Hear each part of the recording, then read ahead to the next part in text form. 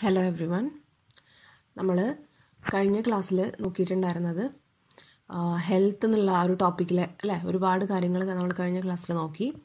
അവസാനമായിട്ട് നമ്മൾ ഇമ്മ്യൂണിറ്റിയാണ് നോക്കിയിട്ടുണ്ടായിരുന്നത്. അപ്പം അതിന് മുന്നേ നമ്മൾ കുറച്ച് ഡിസീസസിന്റെ കാര്യമൊക്കെ പറഞ്ഞു. നിങ്ങൾ ഓർക്കുന്നുണ്ടാവുമെന്ന് വിചാരിക്കുന്നു. ടൈഫോയിഡ് അത് ഇത് പറഞ്ഞിട്ട് ബാക്ടീരിയൽ വൈറൽ ആയിട്ടുള്ള ഒരുപാട് ഡിസീസസിന്റെ കാര്യം നമ്മൾ പറഞ്ഞു. അതിനുശേഷം നമ്മൾ അതിൽ ആ ഡിസീസിന്റെ കാര്യം പറയുമ്പോൾ അതിൽ പ്ലാസ്മോഡിയത്തിന്റെ ലൈഫ് സൈക്കിൾ നിർബന്ധമായിട്ടും പഠിക്കുക. ഇമ്പോർട്ടന്റ് ആണ്. പിന്നെ അതുപോലെ തന്നെ നമ്മൾ പിന്നെ ഇമ്മ്യൂണിറ്റിയാണ് കൂടുതൽ സംസാരിച്ചത്. ഇമ്മ്യൂണിറ്റിയെ പറ്റിയിട്ടാണ്. അപ്പോൾ ഇമ്മ്യൂൺ സിസ്റ്റത്തിന്റെ കാര്യം പറഞ്ഞു. അതൊക്കെ നന്നായിട്ട് നോക്കുക. പിന്നെ അതുപോലെ തന്നെ അലർജി ഓട്ടോ ഇമ്മ്യൂൺ ഡിസോർഡർ എന്നൊക്കെ പറഞ്ഞ് ചെറിയ ചെറിയ ടോപ്പിക്സ് വേറെ പറഞ്ഞു. അപ്പോൾ അതൊക്കെ ശ്രദ്ധിക്കാം. ഓക്കെ ഇന്ന് നമ്മൾ ഫസ്റ്റ് പഠിക്കാൻ പോകുന്നത് ഇനിയും കുറച്ച് ഡിസീസസിന്റെ കാര്യം തന്നെയാണ്. അപ്പം കുറച്ചും കൂടി നമ്മൾ ഡീറ്റെയിൽ ആയിട്ട് പഠിക്കുകയാണ് ഓരോന്നിനെ പറ്റി നമ്മളിപ്പം അവിടെ ഡിസീസ് എന്ന് പറയുമ്പം നമ്മൾ അതിന്റെ സിംറ്റംസ് എന്തൊക്കെയാണ്? അതെന്തെങ്കിലും ഡിറ്റർമിൻ ചെയ്യാനുള്ള ടെസ്റ്റ് ഉണ്ടോ? അങ്ങനെ അത്ര ഡീറ്റെയിൽ ആയി പോവാതെ കുറച്ച് കാര്യങ്ങളെ പറഞ്ഞിട്ടുണ്ടായിരുന്നുള്ളൂ. നമ്മൾ കുറച്ച് സീരിയസ് ആയിട്ടുള്ള രണ്ട് ഡിസീസസിനെ പറ്റിയിട്ടാണ് ആദ്യം നോക്കുന്നത്. നിങ്ങൾക്ക് ഓൾറെഡി അറിയാം ഏതൊക്കെയാണ്? എയ്ഡ്സും ക്യാൻസറും ഓക്കെ അപ്പോൾ എയ്ഡ്സിനെയും ക്യാൻസറിനെയും പറ്റി ഒന്ന് കുറച്ചൊരു ഡീറ്റെയിൽ സ്റ്റഡി നമുക്ക് നടത്താനുണ്ട്. അതാണ് ആദ്യം നമ്മൾ ചെയ്യുന്നത്. അപ്പോൾ നമുക്ക് നമ്മുടെ ഫസ്റ്റ് ടോപ്പിക്കായിട്ടുള്ള എയ്ഡ്സിലേക്ക് കിടക്കാം. ഓക്കെ എയ്ഡ്സ് നിങ്ങൾ ഏകദേശം കുറച്ച് കാര്യങ്ങളൊക്കെ നിങ്ങൾക്ക് അറിയാം ഇതിൽ ഇതിന്റെ ഒരു എങ്ങനെയാണ് എയ്ഡ്സ് വരുന്നത്? അല്ലെങ്കിൽ അതിന്റെ ഒരു എന്താ പറയുക ഈ വൈറസ് നമ്മൾ ഇൻഫെക്റ്റ് ചെയ്തിട്ട് നമ്മുടെ സെല്ലിൽ അല്ലെങ്കിൽ നമ്മുടെ ശരീരത്തിൽ നടക്കുന്നത് എന്താണെന്നുള്ള ആ ഒരു കാര്യം നിങ്ങൾക്ക് പുതിയതാണ്. അത് ഇമ്പോർട്ടന്റുമാണ് കേട്ടോ. അപ്പോൾ അതൊന്ന് പഠിക്കാനുണ്ട്. ബാക്കിയൊക്കെ നിങ്ങൾക്ക് അറിയാവുന്ന കാര്യങ്ങളൊക്കെ തന്നെയാണ്. Okay AIDS A I D S എന്താണ് ആ വേർഡിന്റെ ഒരു അല്ലെങ്കിൽ എന്താ അതിന്റെ ഒരു എക്സ്പാൻഷൻ എന്ന് പറയുന്നത്? എന്താണ്?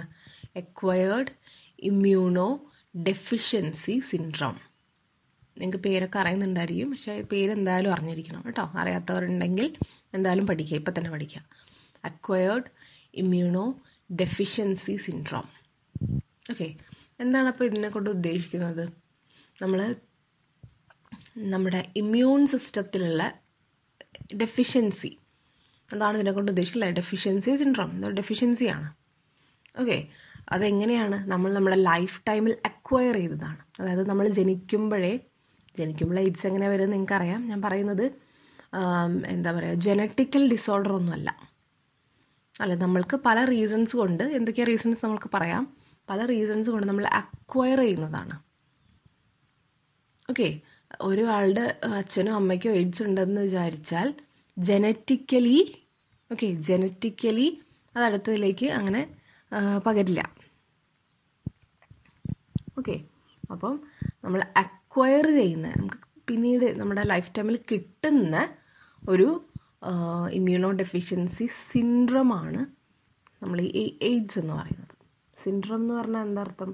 സിൻഡ്രം എന്ന് പറഞ്ഞാൽ ഗ്രൂപ്പ് ഓഫ് സിംറ്റംസ് എന്നാണ് അർത്ഥം. ഓക്കെ നിങ്ങൾ ഇതല്ലാതെയും പി സി ഒ എസ് എന്നൊക്കെ പറഞ്ഞ് കേട്ടിട്ടുണ്ട്. പി സി ഒ ഡി എന്നായിരുന്നു ഞാൻ ആദ്യം പറഞ്ഞിരുന്നത് നമ്മുടെ ഓവർ റിലേറ്റഡ് ആയിട്ട് വിമനിൽ കാണുന്നൊരു പ്രശ്നമാണ്. പി സി ഒ എസ് എന്നാണ് പറയാറ്. ഓക്കെ അത് സിൻഡ്രം എന്ന് വെച്ചാൽ ഒരുപാട് സിംറ്റംസിന്റെ ഒരു കൂട്ടം. ഓക്കെ അപ്പോൾ അതാണ് ഫസ്റ്റ് പറയാനുള്ളത്. എയ്ഡ്സിന്റെ ഫുൾ ഫോം എന്താണ്? Acquired immuno deficiency syndrome okay ഇത് ഫസ്റ്റ് റിപ്പോർട്ട് ചെയ്തത് നയന്റീൻ എയ്റ്റി വണ്ണിലാണ് ഓക്കെ ഒരു നമുക്കറിയാം ഒരു ഒരു എയ്പ്പിലാണ് അല്ല? ഒരു ആൾക്കുരങ്ങ് അല്ലെങ്കിൽ എയ്പ്പിലാണ് ആദ്യം ഇത് റിപ്പോർട്ട് ചെയ്തിട്ടുള്ളത്. അതിനുശേഷം ഇപ്പം ഒരു ടു തൗസൻഡ് ട്വന്റിയിലൊക്കെ നിൽക്കുമ്പോൾ ട്വന്റി ഫൈവ് മില്യൺ ആൾക്കാരിൽ കൂടുതൽ ഈ ഒരു അസുഖം ബാധിച്ച് മരിച്ചിട്ടുണ്ട്. ഓക്കെ നമുക്കറിയാമല്ലോ അതിന് മരുന്നൊന്നും ഇപ്പോഴും എന്താ പറയുക അങ്ങനെ കറക്റ്റായിട്ട് എക്സാക്ട്ലി കണ്ടുപിടിച്ചിട്ടില്ല. പക്ഷേ എന്നാലും ഉണ്ട്. ഉണ്ടെന്ന് പറഞ്ഞാൽ എന്താ പറയുക നിങ്ങൾ ചിലപ്പോൾ കണ്ടിട്ടുണ്ടായിരിക്കും നമ്മൾ കൊറോണയുടെ ഇടയിലായിരുന്നില്ല കൊറോണയ്ക്ക് മുന്നേ. നമ്മുടെ ട്രിവാൻഡ്രം ശ്രീ ചിത്ര ഇൻസ്റ്റിറ്റ്യൂട്ട് ഉണ്ട്. അവിടെയുള്ള ഡോക്ടർ ഒരു ലേഡിയാണെന്നാണ് എന്റെ ഓർമ്മ. അവർ ഇതേ ഒരു ഒരു എയ്ഡ്സിനെതിരെയുള്ള മരുന്ന് അതായത് എയ്ഡ്സിനുള്ള മരുന്ന് കണ്ടുപിടിച്ചു എന്ന് പറഞ്ഞിട്ടുണ്ടായിരുന്നു. ഓക്കെ അത് വലിയ വാർത്തയൊക്കെ ആയിട്ടുണ്ടായിരുന്നു. അപ്പോൾ നടന്നുകൊണ്ടിരിക്കുകയാണ്. ഈ ഫീൽഡിലുള്ള എന്താ പറയുക മരുന്നുകളൊക്കെ കണ്ടുപിടിക്കാനുള്ള നടന്നുകൊണ്ടിരിക്കുകയാണ്. ഓക്കെ പിന്നെന്താ പറയുന്നത്? നമുക്കറിയാം എയ്ഡ്സിന്റെ ഡിറ്റക്ഷൻ ടെസ്റ്റ്. അപ്പോൾ ഈ ഡിറ്റക്ഷൻ ടെസ്റ്റുകളൊക്കെ നിർബന്ധമായിട്ടും അറിഞ്ഞിരിക്കണം കേട്ടോ. നമ്മൾ അവിടെ വേറെ ഒരു ഡിറ്റക്ഷൻ ടെസ്റ്റ് പഠിച്ചിരുന്നു. ഏതാണെന്ന് നിങ്ങൾക്ക് ഓർമ്മ ഉണ്ടോ എന്ന് നോക്കിയേ. നമ്മൾ എവിടെ ആ ഒരു വൈഡൽ ടെസ്റ്റിന്റെ കാര്യം പഠിച്ചിരുന്നു. അത് ഏതിനെയാണ് എന്നുള്ളത് ഓർക്കാൻ പറ്റുന്നുണ്ടോ നോക്കുക. ഇല്ലാന്നുണ്ടെങ്കിൽ പഴയ നമ്മൾ കഴിഞ്ഞ ക്ലാസ്സിൽ നോട്ട്സ് എടുത്ത് നോക്കാം. Okay Widal test. ഓക്കെ. ഇവിടെ എയ്ഡ്സിന്റെ ഡിറ്റക്ട് ചെയ്യുന്ന ഡയഗ്നോസ് ചെയ്യുന്ന ടെസ്റ്റാണ് എലൈസ അതിനും ഫുൾ ഫോം പഠിക്കുക. Enzyme linked immunosorbent assay first പഠിക്കുമ്പം കുറച്ചൊരു ബുദ്ധിമുട്ട് തോന്നാം. ഫസ്റ്റ് നിങ്ങൾ മുന്നേ കേട്ടിട്ടുണ്ടായിരിക്കും. പക്ഷേ എന്നാലും ഫസ്റ്റ് ആണെങ്കിൽ കുറച്ചൊരു അയ്യോ എന്ത് പേരും തോന്നാം. പക്ഷേ അത് ഫസ്റ്റ് മാത്രമേ തോന്നുള്ളൂ. നമ്മൾ അതിലും വലിയ വലിയ വാക്കുകളൊക്കെ പഠിക്കുന്നില്ലേ? ഓക്കെ എന്താണ്? Enzyme linked immuno sorbent assay ELISA ഈ എല്ലാം ക്യാപിറ്റൽ കേട്ടോ E L I S A എല്ലാം ക്യാപിറ്റൽ ഇതാണ് എന്ത്? നമ്മുടെ എയ്ഡ്സിന്റെ ഡയഗ്നോസ്റ്റിക് ടെസ്റ്റ് എന്ന് പറയുന്നത്. ഓക്കെ. പിന്നെ നമ്മൾ പറഞ്ഞു ഇതിന്റെ മെഡിസിൻസൊക്കെ കണ്ടുപിടിച്ച് വരുന്നേ ഉള്ളൂ. ഓക്കെ. പക്ഷേ നമ്മൾ ബേസിക്കലി പറയാം വന്നു കഴിഞ്ഞാൽ ഡെത്ത് സുനിശ്ചിതം എന്നുള്ളൊരവസ്ഥയിലാണ് ഇതെത്തി നിൽക്കുന്നത്. ഓക്കെ നമുക്ക് ആ സൈക്കിൾ പറയാം. എന്തുകൊണ്ടാണ് അങ്ങനെ സംഭവിക്കുന്നത്? വന്നു കഴിഞ്ഞാൽ അതിൽ രക്ഷപ്പെടാനുള്ള സാധ്യത വളരെ കുറവോ അല്ലെങ്കിൽ രക്ഷപ്പെടില്ല എന്നുള്ള അവസ്ഥയിലെത്തുന്ന എന്തുകൊണ്ടാണ് നമുക്ക് അതിന്റെ സൈക്കിൾ നമുക്ക് നോക്കാം. ഓക്കെ അപ്പോൾ ഇതാണ് അതിന്റെ ഒരു ഒരു ഇൻട്രൊഡക്ഷൻ എന്നുള്ള രീതിയിൽ പറയാനുള്ളത്. ഓക്കെ പിന്നെ നമ്മളൊരു കാര്യം കൂടി പറയാം. എന്താണ്? നമ്മുടെ ഇതെങ്ങനെയാണ് ഒരാളിൽ നിന്ന് മറ്റൊരാളിലേക്ക് ട്രാൻസ്മിഷൻ നടക്കുന്നത്? നമുക്കറിയണം നല്ല വ്യക്തമായിട്ട് അറിയുന്ന കാര്യം തന്നെയാണ് അല്ലേ എങ്ങനെയാണ് sexual contact with infected person ഈ അസുഖമുള്ള ആളായിട്ടുള്ള സെക്ഷുവൽ കോണ്ടാക്ട് അതുപോലെ തന്നെ നമ്മളെ ബ്ലഡും ബ്ലഡ് പ്രൊഡക്ട്സും ഒക്കെ ഉള്ള അതിന്റെ ട്രാൻസ്ഫ്യൂഷൻ നമ്മൾ പറയുമല്ലോ സിറിഞ്ചൊക്കെ അറിയാതെ ഒരാളിൽ യൂസ് ചെയ്തിട്ട് വേറൊരാൾ യൂസ് ചെയ്യാൻ പാടില്ല. അല്ലേ? അങ്ങനെ കാര്യമാവാം എന്താ പറയുക അതാണ് മൂന്നാമത്തെ പോയിന്റ് പറഞ്ഞത് sharing infected needles as an intravenous drug abusers okay ഒന്ന് ട്രാൻസ്ഫ്യൂഷൻ ആവാം. ബ്ലഡ് മറ്റൊരാൾക്ക് കൊടുക്കുന്ന സമയത്ത് ആവാം. അല്ലെങ്കിൽ എങ്ങനെയാവാം? നമ്മൾ ഇൻഫെക്റ്റഡ് ആയിട്ടുള്ള നീഡിൽസൊക്കെ നമ്മുടെ ഈ ഡ്രഗൊക്കെ ഉപയോഗിക്കുന്ന ആൾക്കാരില്ലേ? അല്ല? അവരെന്താ ചെയ്യാന്ന് വെച്ചാൽ സിറിഞ്ച് എടുത്തിട്ട് ഡ്രൈവിങ് എന്താ പറയുക നമ്മൾ എന്താ പറയുക സൂചി കുത്തി കയറ്റുന്ന പോലെ ഇൻട്രാവീനസ്ലി അതായത് നമ്മൾ അവർ ഇതിലേക്ക് എന്താ പറയുക സിറിഞ്ച് ചെയ്യുക ചെയ്യുക ഓക്കെ അപ്പോൾ അത് ചെയ്യുമ്പോൾ ഊഹിക്കാമല്ലോ ഡ്രഗൊക്കെ യൂസ് ചെയ്യുന്ന ആൾക്കാരൊന്നും ആരപ്പോൾ ഒരാൾ യൂസ് ചെയ്തിട്ടുണ്ടോ മറ്റേ യൂസ് ചെയ്യുന്നതൊക്കെ ശ്രദ്ധിക്കുക. ഒരാൾ യൂസ് ചെയ്തിട്ടുണ്ടായിരിക്കും മേ ബി അവർ ഒരു എയ്ഡ്സ് പേഷ്യന്റ് ആയിരിക്കാം. അപ്പോൾ അതന്നെ എടുത്തിട്ട് എന്ത് ചെയ്യും ഇവരും ചെയ്യും. അപ്പോൾ അവരുടെ ബ്ലഡിലേക്ക് അത് കയറും ഓക്കെ പിന്നെ ഇൻഫെക്റ്റഡ് ആയിട്ടുള്ള മദറിൽ നിന്ന് കുട്ടിയിലേക്ക് വരാം. ഞാൻ പറയുന്നത് ജനറ്റിക്കൽ നമുക്ക് പറയാൻ പറ്റില്ല അതിന് കേട്ടോ. നമ്മൾ ആദ്യം പറഞ്ഞല്ലോ ജനറ്റിക്കലായിട്ട് ഇത് വരില്ല എന്നുള്ളത്. അപ്പം ഇൻഫെക്റ്റഡ് ആയിട്ടുള്ള അമ്മയിൽ നിന്ന് കുട്ടിയിലേക്ക് പ്ലാസിന്റെ വഴിയും വരാം. ഓക്കെ. അപ്പോൾ ഇത്രയും കാര്യങ്ങളാണ് എന്തു പറയുന്നത്? ഈ അസു ഇതിന്റെ ട്രാൻസ്മിഷൻ എങ്ങനെയൊക്കെ നടക്കാം എന്നുള്ളതിൽ പറയുന്നത്. ഓക്കെ. അപ്പം ഇതൊക്കെ ഇപ്പോൾ നമ്മൾ പറഞ്ഞത്. അക്വയർഡ് ഇമ്മ്യൂണോ ഡെഫിഷ്യൻസി സിൻഡ്രോം എന്നാണ് പേര്. അത് കോസ് ചെയ്യുന്നത് ആരാണ്? എച്ച് ഐ വി അല്ലേ? കോസ് ചെയ്യുന്നത് H I V human immunodeficiency virus okay. നമ്മളപ്പോൾ H I V AIDS H I V എന്നൊരു പേര് പറയാൻ അല്ല? എയ്ഡ്സ് എന്ന് പറയുമ്പോൾ എച്ച് ഐ വി നമ്മൾ കോമൺ ആയിട്ട് പറയണം. എച്ച് ഐ വി എന്താ ശരിക്കും? ആ കോസ് ചെയ്യുന്ന വൈറസിന്റെ പേരാണ്. ഓക്കെ പിന്നെ നമ്മൾ എങ്ങനെയൊക്കെയാണ് അസുഖം ഉണ്ടാവുക എന്ന് പറഞ്ഞു പിന്നെ നമുക്കറിയാമല്ലോ ജസ്റ്റ് ടച്ചിങ് വഴിയൊന്നും അത് പകരുന്ന സാധനമല്ല. അങ്ങനെയുള്ള കുറേ മിത്ത് ഉണ്ടായിരുന്നു. പക്ഷേ ഇപ്പോൾ നമുക്കറിയാം അങ്ങനെ ടച്ച് വഴിയല്ല നമ്മളിപ്പോൾ ഏതൊക്കെ സ്റ്റെപ്സിലൂടെയാണ് അത് പകരാൻ നമ്മൾ ഓൾറെഡി പറഞ്ഞു കഴിഞ്ഞു. ഓക്കെ പിന്നെ സിംറ്റം ഉണ്ടായി കഴിഞ്ഞിട്ട് അത് നമ്മൾ മനസ്സിലാക്കാൻ. അതായത് നമുക്ക് സിംറ്റം ഉണ്ടായി കഴിഞ്ഞിട്ടൊന്നല്ല നമുക്കത് ഇൻഫെക്റ്റ് ചെയ്ത് കഴിഞ്ഞാൽ അത് മനസ്സിലാക്കാൻ ചിലപ്പം എന്താ പറയുക കുറേ കാലം എടുക്കും. അതാണ് ഇതിന്റെ ഒരു മെയിൻ പ്രശ്നം. നമ്മളെ ഇൻഫെക്റ്റ് ചെയ്ത് നമ്മളുടെ ശരീരത്തിന് അതിന്റെ ഈ വൈറസിനെ കൺട്രോളിലാക്കിയതിന് ശേഷമാണ് പലപ്പോഴും നമ്മൾക്കത് മനസ്സിലാവുന്നത്. നമുക്ക് പ്രശ്നമാണ് എന്നുള്ളത് നമ്മൾ മനസ്സിലാവുന്ന അപ്പോഴാണ്. അതുകൊണ്ടാണ് പിന്നെ ഒന്നും ചെയ്യാൻ പറ്റാത്തത്. നമ്മൾക്ക് ആദ്യം മനസ്സിലാവുന്നുണ്ടെങ്കിൽ നമുക്ക് അതിനനുസരിച്ചുള്ള കാര്യങ്ങൾ ചെയ്യാമായിരുന്നു പക്ഷേ ഈ വൈറസ് നമ്മളെ ശരീരത്തിന് ഒരു കൺട്രോൾ എടുത്തതിന് ശേഷമാണ് നമ്മൾക്ക് ബുദ്ധിമുട്ടുകൾ വന്നു തുടങ്ങുന്നതും ചിലപ്പോൾ പനിയായിട്ടാവാം. ഓക്കെ അങ്ങനെയൊക്കെ ബുദ്ധിമുട്ടുകൾ വന്ന് തുടങ്ങുമ്പോഴാണ് പിന്നെയാണ് നമുക്കത് മനസ്സിലാവുന്നത്. ഓക്കെ അപ്പോൾ അതിന്റെ ആ ഒരു എന്താ പറയുക അപ്പിയർ സിംറ്റം അപ്പിയർ ചെയ്യാനുള്ള ഒരു സമയം എന്ന് പറയുന്നത് ഫൈവ് ടു ടെൻ ഇയേഴ്സ് വരെ ആവാം. കുറച്ച് മാസം തൊട്ട് ഇയേഴ്സ് വരെ ആവാം. ഓക്കെ പിന്നെ ആ ഡയഗ്നോസ്റ്റിക് ടെസ്റ്റിന്റെ കാര്യം പറഞ്ഞു. ഓക്കെ അപ്പോൾ ഇത്രയും കാര്യങ്ങളാണ് ഒരു ഇൻട്രൊഡക്ഷൻ എന്നുള്ള രീതിയിൽ പറയുന്നത്. അടുത്തതായിട്ട് നമ്മൾ നോക്കുന്നത് എങ്ങനെയാണ് ഈ ഒരു ഇൻഫെക്ഷൻ നമ്മുടെ ബോഡിയിൽ വരുന്നത്? നമുക്ക് എങ്ങനെയാണ് ഇമ്മ്യൂണിറ്റി നഷ്ടപ്പെടുന്നത്? നമുക്കറിയാലോ എയ്ഡ്സ് എന്താണ്? ഇമ്മ്യൂണോ ഡെഫിഷ്യൻസി അതായത് ഇമ്മ്യൂണിറ്റി നഷ്ടപ്പെടുകയാണ് നമുക്ക് ചെയ്യുന്നത്. ഡെഫ് ഇമ്മ്യൂണോ ഇമ്മ്യൂണിറ്റി ഡെഫിഷ്യന്റ് ആവുകയാണ് നമ്മൾ ചെയ്യുന്നത്. ഈ അസുഖം വന്നു കഴിഞ്ഞാൽ അപ്പോൾ എങ്ങനെയാണ് അത് സംഭവിക്കുന്നത് എന്നാണ് പറയുന്നത്. ഓക്കെ അപ്പോൾ ആദ്യത്തെ കാര്യം പറയാനുള്ളത് എന്താണെന്ന് വെച്ചാൽ ഈ ഒരു വൈറസ് എച്ച് ഐ വി എന്ന് പറയുന്ന വൈറസ് വൈറസ് വരുന്ന കാറ്റഗറി എന്ന് പറയുന്നത് റെട്രോ വൈറസ് എന്ന് പറയുന്ന ഒരു കാറ്റഗറിയിലാണ്. ഓക്കെ റിട്രോ വൈറസ് അതായത് എച്ച് ഐ വി അല്ലെങ്കിൽ ഹ്യൂമൻ ഇമ്മ്യൂണോ ഡെഫിഷ്യൻസി വൈറസ് എന്ന് പറയുന്ന എയ്ഡ്സ് കോസ് ചെയ്യുന്ന വൈറസ് ഒരു റിട്രോ വൈറസ് ആണ്. എന്ന് വെച്ചാൽ അതിന്റെ ശരീരത്തിൽ ഒരു ആർ എൻ എ ജീനോമും ഒരു പ്രോട്ടീൻ കോട്ടും മാത്രമേ ഉണ്ടായിരിക്കുള്ളൂ. ഓക്കെ അപ്പോൾ നമുക്കറിയാം ജീനോം എന്ന് പറഞ്ഞാൽ genetic material R N A ആവാം ഡി എൻ എ ആവാം. അതിനെ പറ്റിയൊക്കെ നമ്മൾ പഠിച്ചിട്ടുണ്ട്. അതിൽ ഡി എൻ എ ആണ് ഏറ്റവും അധികം ജീവികളിൽ കാണുന്നത്. അതിന്റെ റീസണും നമ്മൾ പറഞ്ഞിട്ടുണ്ടായിരുന്നു. ഓക്കെ പക്ഷേ റെട്രോ വൈറസ് കാറ്റഗറിയിൽ വരുന്നതിന് പ്രത്യേകത എന്തായിരിക്കും എന്ന് വെച്ചാൽ ഇതിന്റെ ജീനോം അല്ലെങ്കിൽ ജനറ്റിക് മെറ്റീരിയൽ എന്ന് പറയുന്നത് എന്തായിരിക്കും? ഒരു ആർ എൻ എ ആയിരിക്കും.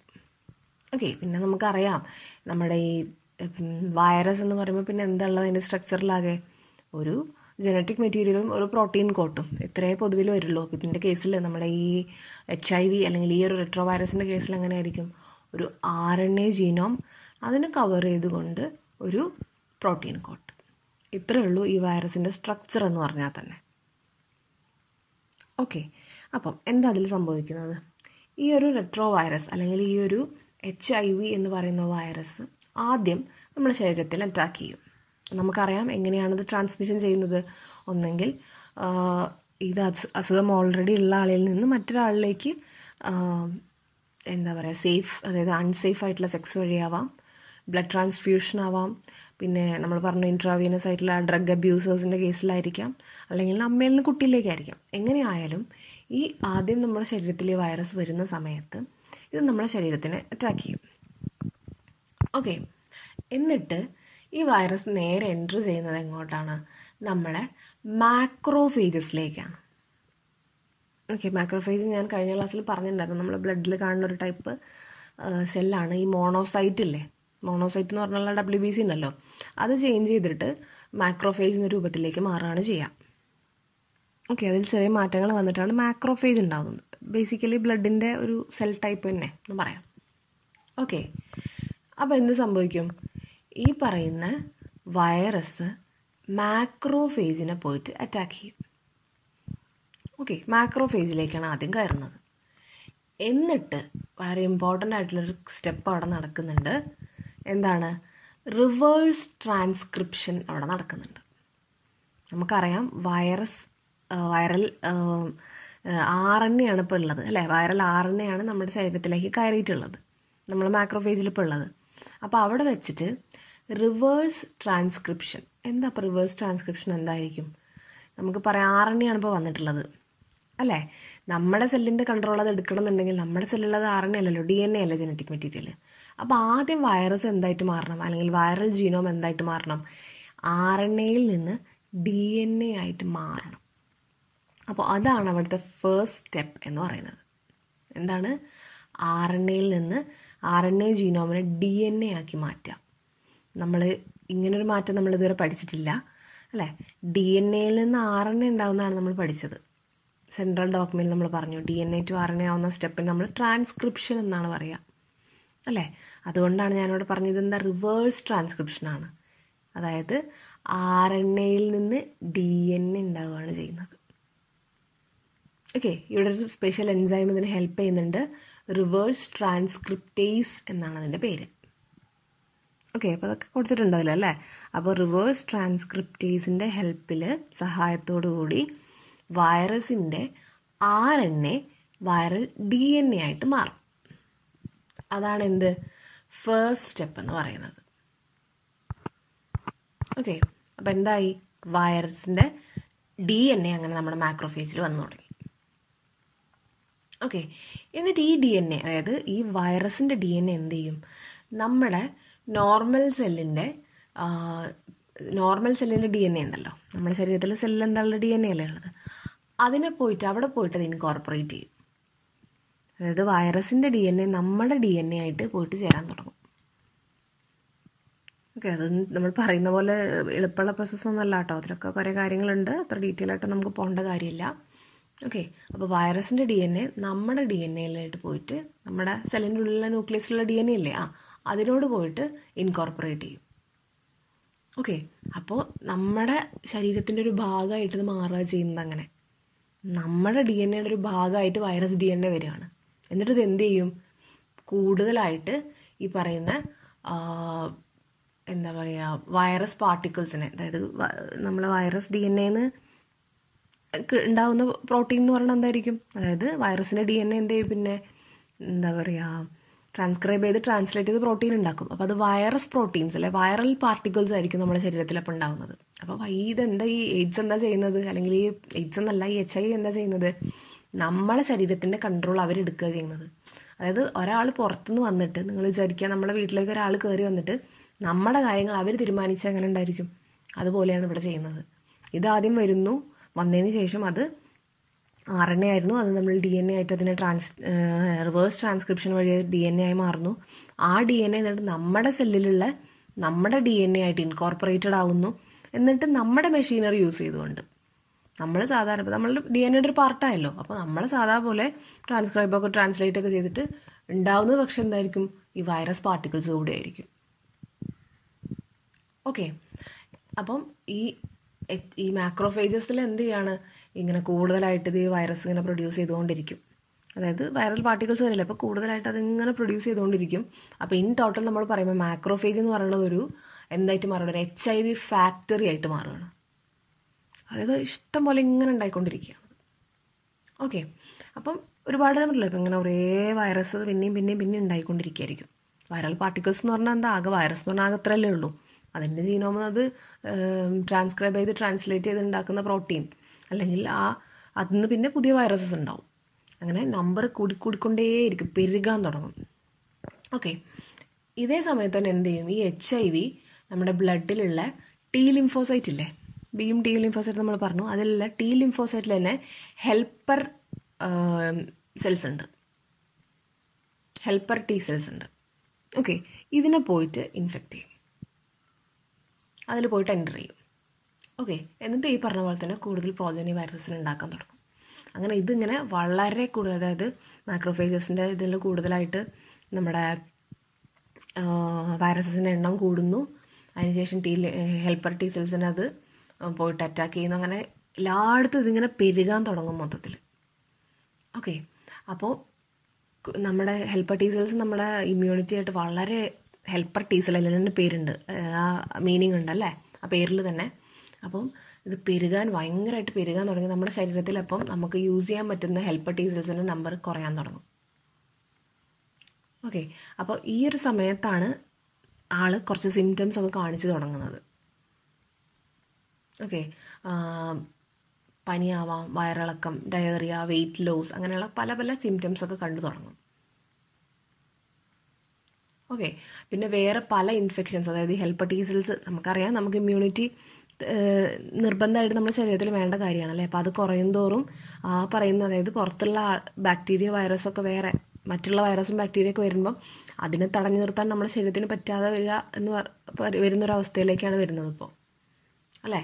അപ്പം മൈക്രോ ബാക്ടീരിയ വൈറസ് ഫംഗസ് ഇവരെല്ലാത്തുള്ള അസുഖങ്ങൾക്കും നമ്മൾ കൂടുതൽ പ്രോൺ ആവും. Will be prone to all these diseases okay അങ്ങനെ എന്താ നമ്മൾ ഇമ്മ്യൂണോ ഡെഫിഷ്യന്റ് ആയിട്ട് മാറും നമ്മൾ ഹെൽപ്പർ ടി സെൽസിനെ അത് ഉപയോഗിച്ച് ഉപയോഗിച്ച് നമ്മൾക്ക് യൂസ് ചെയ്യാൻ പറ്റുന്ന ഹെൽപ്പർ ടി സെൽസ് ഇല്ലാതായി മാറും. നമ്മൾ ഇമ്മ്യൂണോ ഡെഫിഷ്യന്റ് ആയിട്ട് മാറും. നമുക്ക് ഒരു അസുഖം വന്നാലും ഒരു ഇൻഫെക്ഷൻ വന്നാലും നമുക്കതൊന്നും എന്താ പറയുക അതിൽ നിന്നൊന്നും നമുക്ക് രക്ഷപ്പെടാൻ പറ്റാത്ത അവസ്ഥയിലേക്ക് വരും. ഓക്കെ അങ്ങനെ മൊത്തം നമ്മൾ കൺട്രോൾ എടുത്ത് അത് പക്ഷേ ഇതൊന്നും പെട്ടെന്നല്ല സംഭവിക്കുന്നത് അതാ നമ്മൾ പറഞ്ഞു കാണും. കുറച്ച് മാസങ്ങളെങ്കിലും മിനിമം അത് എടുക്കും. ഇത് ഫസ്റ്റ് സിംറ്റം ഒക്കെ കാണിക്കാൻ. അല്ലെങ്കിൽ ചിലപ്പോൾ വർഷങ്ങൾ എടുത്തിട്ടായിരിക്കാം സിംറ്റംസ് കാണുന്നത്. അപ്പോഴേക്ക് നമ്മളെ ശരീരം മൊത്തം ഇത് പറയുന്ന വൈറസ് കൺട്രോൾ ചെയ്തിട്ടുണ്ടായിരിക്കും. നമ്മുടെ ശരീരത്തിലുള്ള ടീ സെൽസ് എല്ലാം അത് കൺട്രോൾ ചെയ്തു എന്ന് പറഞ്ഞു കഴിഞ്ഞാൽ പിന്നെ നമുക്കപ്പം എന്ത് എന്തിനു പറ്റുന്നില്ല. അതായത് മൊത്തം അവരുടെ കൺട്രോളിലായി നമ്മുടെ ശരീരം എന്നുള്ള അവസ്ഥയായി. വൈറസിന്റെ കൺട്രോളിലായി ഹ്യൂമൻ ബോഡി എന്നുള്ള അവസ്ഥയിലേക്ക് വരികയാണ്. അപ്പോൾ അതിനുശേഷം നമുക്ക് പിന്നെ വേറൊന്നും ചെയ്യാനില്ല എന്നുള്ള കാര്യം വരും. നമുക്കതിന് ഒരു അതായത് നമ്മൾ പറഞ്ഞല്ലോ ഈ പറയുന്ന എല്ലാത്തിനെയും എല്ലാ വൈറസിനെയും നശിപ്പിക്കുക എന്നുള്ള രീതിയിൽ മരുന്ന് കണ്ടുപിടിക്കാത്തതുകൊണ്ട് തന്നെ പിന്നെ ചെറിയ ഇൻഫെക്ഷനിൽ പോലും നമ്മൾ വലിയ ബുദ്ധിമുട്ടുകൾ കാണിക്കുകയാണ്. അത് ഹെൽപ്പറ്റീസൽസ് ഇല്ല നമ്മളെപ്പോഴും എക്സ്പോസ്ഡ് അല്ല എൻവയോൺമെന്റിൽ എന്ത് ടൈപ്പ് ഇൻഫെക്ഷനും ആവാം. അപ്പോൾ ഇൻഫെക്ഷൻ വരുമ്പോഴേക്കും നമുക്കതിനെ താങ്ങാൻ കഴിയുന്നില്ല. അപ്പം ഈ വൈറസിനെതിരെയുള്ള മരുന്ന് കൊടുക്കണോ? നമുക്ക് ഈ വരുന്ന അസുഖങ്ങൾക്കെതിരെയുള്ള മരുന്ന് കൊടുക്കണോ എന്നുള്ള ആകെ പ്രശ്നമാവും. അങ്ങനെ മൊത്തത്തിൽ എന്താ പറയുക വളരെ ഡിഫിക്കൾട്ടായിട്ടുള്ളൊരു കണ്ടീഷനിലേക്ക് നമ്മൾ പോകും അതിന്റെ ഭാഗമായിട്ട് നമുക്ക് ഒട്ടും ഇമ്മ്യൂണിറ്റി ഇല്ല അല്ല പറയുന്ന എന്താ പറയുക എല്ലാ സുഖങ്ങളും വന്ന് വന്ന് വന്നാണ് നമ്മൾ ശരിക്കും പറഞ്ഞാൽ ഈ എയ്ഡ്സ് വന്നിട്ട് മരിക്കുക എന്ന് പറയുമ്പോൾ എന്താ സംഭവിക്കുന്നത് വെച്ചാൽ നമ്മൾ ഇമ്മ്യൂണിറ്റി നഷ്ടപ്പെട്ടിട്ടാണ് മരിക്കുന്നത്. അതായത് എയ്ഡ്സിന്റെ സിംറ്റംസ് എന്ന് പറഞ്ഞുകൊണ്ട് നമുക്ക് പ്രത്യേകിച്ചൊരു കാര്യങ്ങൾ നമുക്ക് പറയാൻ പറ്റില്ല. എന്താണ്? നമുക്ക് ഇമ്മ്യൂണിറ്റി നഷ്ടപ്പെടുക. ഇമ്മ്യൂണിറ്റി നഷ്ടപ്പെടുന്നത് കൊണ്ട് തന്നെ നമുക്ക് വേറെ കുറേ ബുദ്ധിമുട്ടുകൾ വരാൻ തുടങ്ങും. ചെറിയ ചെറിയ അസുഖങ്ങളൊക്കെ നമ്മൾ ഞാൻ പറയുന്നത് ചിലപ്പോൾ ഡയറിയ വെയിറ്റ് ലോസ് അങ്ങനെ അങ്ങനെ കാര്യങ്ങളൊക്കെ വന്നിട്ടാണ് നമ്മൾ നമുക്കൊന്നും താങ്ങാൻ പറ്റാത്ത അവസ്ഥയിലേക്ക് വരികയാണ്. ഓക്കെ അങ്ങനെയാണ് എന്ത് ഇതിന്റെ ഒരു ഈ അസുഖം എങ്ങനെ വരുന്നു? എയ്ഡ്സ് എന്ന് പറയുന്നത് എങ്ങനെയാണ് വരുന്നത് എന്നുള്ള കാര്യം. ഓക്കെ ഇത് നിർബന്ധമായിട്ട് പഠിക്കണം കേട്ടോ. പിന്നെ നമുക്കിനിപ്പോൾ പ്രിവെൻഷൻ ഓഫ് എയ്ഡ്സ് പറഞ്ഞാൽ അതെങ്ങനെയൊക്കെ ആയിരിക്കും എയ്ഡ്സ് പ്രിവെന്റ് ചെയ്യുന്നത്. അപ്പോൾ നമ്മൾ പറഞ്ഞ പോലെ വേറെ ഒന്നുമല്ല ഈ കാര്യങ്ങളിലൊക്കെ നമ്മൾ എങ്ങനെയാണത് ട്രാൻസ്മിഷൻ നടക്കുന്നത് എന്നുള്ള കാര്യങ്ങളിലൊക്കെ ശ്രദ്ധ. അപ്പം അമ്മയിൽ നിന്ന് കുട്ടിയിലേക്ക് വരിക എന്ന് പറയുമ്പം നമ്മൾ ആദ്യം തന്നെ എയ്ഡ്സിന്റെ ടെസ്റ്റൊക്കെ ചെയ്യാറുണ്ട്. ഓക്കെ ഈ അമ്മയ്ക്കില്ല എന്നുള്ള ടെസ്റ്റുകളൊക്കെ അമ്മയ്ക്ക് ഉണ്ടോ എന്ന ടെസ്റ്റൊക്കെ ചെയ്യാറുണ്ട്. ഇനി ബ്ലഡ് ട്രാൻസ്ഫ്യൂഷൻ സമയത്ത് അതായത് യൂസ് ചെയ്ത് സിറിഞ്ച് ഒരിക്കലും യൂസ് ചെയ്യാതിരിക്കുക. അല്ല ഡ്രഗ് അബ്യൂസ് ചെയ്യുന്ന ആൾക്കാരുടെ പിന്നെ എന്താ പറയുക ഈ സിറിഞ്ച് ഉപയോഗിക്കരുത് എന്ന് പറഞ്ഞിട്ട് കാര്യമില്ല. അപ്പോൾ ബെറ്റർ എന്താണ്? ഡ്രഗ്സ് യൂസ് ചെയ്യാതിരിക്കുക. ഓക്കെ പിന്നെ എന്താണ് സേഫ് ആയിട്ടുള്ള സെക്സ് യൂസ് ചെയ്യുക കോണ്ടംസ് അതെല്ലാം യൂസ് ചെയ്തുകൊണ്ടായിരിക്കാം സെക്സ് ചെയ്യുന്നത്. അങ്ങനെ. അപ്പം നമുക്കൊക്കെ അറിയുന്ന കാര്യം തന്നെയല്ല? അപ്പം ഇതൊക്കെയാണ്. പിന്നെ നമുക്കറിയാമല്ലോ എയ്ഡ്സിനെ പറ്റിയൊക്കെ വളരെ തെറ്റായ ധാരണകൾ ആൾക്കാരുടെ ഇടയിൽ ഉണ്ടായിരുന്നു. ഇത് തൊട്ടാൽ പകരും എന്നൊക്കെ. നമ്മൾ ഓൾറെഡി പറഞ്ഞത് ഫിസിക്കലി ഒരാൾ ഒരാൾക്ക് എയ്ഡ്സ് ഉണ്ടെങ്കിൽ അയാൾ വേറെ ആൾ പോയി തൊട്ടാൽ എയ്ഡ്സ് അയാൾക്ക് വരില്ല. പകരില്ല. ഓക്കെ എയ്ഡ്സ് പക്ഷേ എങ്ങനെയാണ്? നമ്മൾ നേരത്തെ പറഞ്ഞ റീസൺസ് കൊണ്ട് മാത്രമേ അത് സ്പ്രെഡ് ചെയ്യുള്ളൂ. അല്ലേ? അപ്പോൾ അത് കറക്റ്റായിട്ട് മനസ്സിലാക്കുക. നമുക്ക് ആ ഇഗ്നോറൻസ് എന്നുള്ള കാര്യം ഉണ്ടാവാതിരിക്കുക. നമ്മൾ കറക്റ്റായിട്ട് ഇതിന് എന്താണ് കാര്യങ്ങൾ എന്നുള്ളത് മനസ്സിലാക്കുക. എഡ്യൂക്കേഷൻ വഴി നമ്മളത് മനസ്സിലാക്കുക. അല്ലേ? അതാണ്. ഇതിനെ പറ്റിയുള്ള പ്രോപ്പർ എഡ്യൂക്കേഷൻ നമുക്ക് കിട്ടുക എന്നൊക്കെയുള്ളതാണ് ഇമ്പോർട്ടന്റ് ആയിട്ടുള്ള കാര്യങ്ങൾ ഇതിൽ വരുന്നത്. ഓക്കെ ആണല്ലോ അപ്പോൾ ഇത്. അപ്പോൾ ഈ ഒരു പാത്ത് വേ എങ്ങനെയാണത് വരുന്നു? ആദ്യം അത് മാക്രോഫേജസിൽ വെച്ചിട്ട് റിവേഴ്സ് ട്രാൻസ്ക്രിപ്ഷൻ നടന്ന ഡി എൻ എ ആവുന്നു. ഡി എൻ എ പോയിട്ട് നമ്മളെ ഡി എൻ എനെ അതായത് വൈറസിന്റെ ഡി എൻ എ നമ്മളെ D N A D N എയിൽ ഇൻകോർപ്പറേറ്റ് ചെയ്യുന്നു. കൂടുതൽ വൈറൽ പാർട്ടിക്കിൾസ് അല്ലെങ്കിൽ കൂടുതൽ വൈറസസ് മാക്രോഫേജസിൽ പ്രൊഡ്യൂസ് ചെയ്യുന്നു. പിന്നെ അത് നമ്മുടെ ടി ലിംഫോസൈറ്റിനെ അറ്റാക്ക് ചെയ്യുന്നു. അങ്ങനെ അത് അറ്റാക്ക് ചെയ്ത് അറ്റാക്ക് ചെയ്ത് ടി ലിം അതായത് നമുക്ക് യൂസ് ചെയ്യാൻ പറ്റുന്ന രീതിയിൽ ടി ലിംഫോസൈറ്റ് ശരീരത്തിൽ വളരെ കുറയാൻ തുടങ്ങും. ഓക്കെ അങ്ങനെ ടി ലിംഫോസൈറ്റിന്റെ അഭാവം മൂലം നമുക്ക് എന്ത് പറ്റുകയാണ് നമുക്ക് ഡെഫിഷ്യ അതായത് ഇമ്മ്യൂണിറ്റി നഷ്ടപ്പെടാൻ തുടങ്ങും. അപ്പോൾ ചെറിയ ചെറിയ സിംറ്റംസ് ഒക്കെ വന്നു തുടങ്ങും ആദ്യം. പിന്നെ അതിങ്ങനെ എന്താ പറയുക ഒട്ടും താങ്ങാൻ പറ്റാത്ത രീതിയിലേക്ക് അത് മാറും. അങ്ങനെ നമ്മൾക്ക് വേറെ അതായത് ഇൻഫെക്ഷൻസ് ഒക്കെ ഒരുപാട് ഇൻഫെക്ഷൻസ് വരാൻ തുടങ്ങും. പല വൈറസ് ഫംഗസ് ബാക്ടീരിയൽ ഡിസീസസ് ഒക്കെ നമുക്ക് വരാൻ തുടങ്ങും. അങ്ങനെ മൊത്തത്തിൽ ഇമ്മ്യൂണിറ്റി നഷ്ടപ്പെട്ടുകൊണ്ടാണ് ഈ ഒരു വ്യക്തി മരിക്കുന്നത്. ഓക്കെ അല്ലേ? അപ്പം ഇതാണ് നമ്മൾ ഈ ഒരു എങ്ങനെയാണ് നമ്മുടെ എയ്ഡ്സ് വരുന്നത് എന്നുള്ള കാര്യം.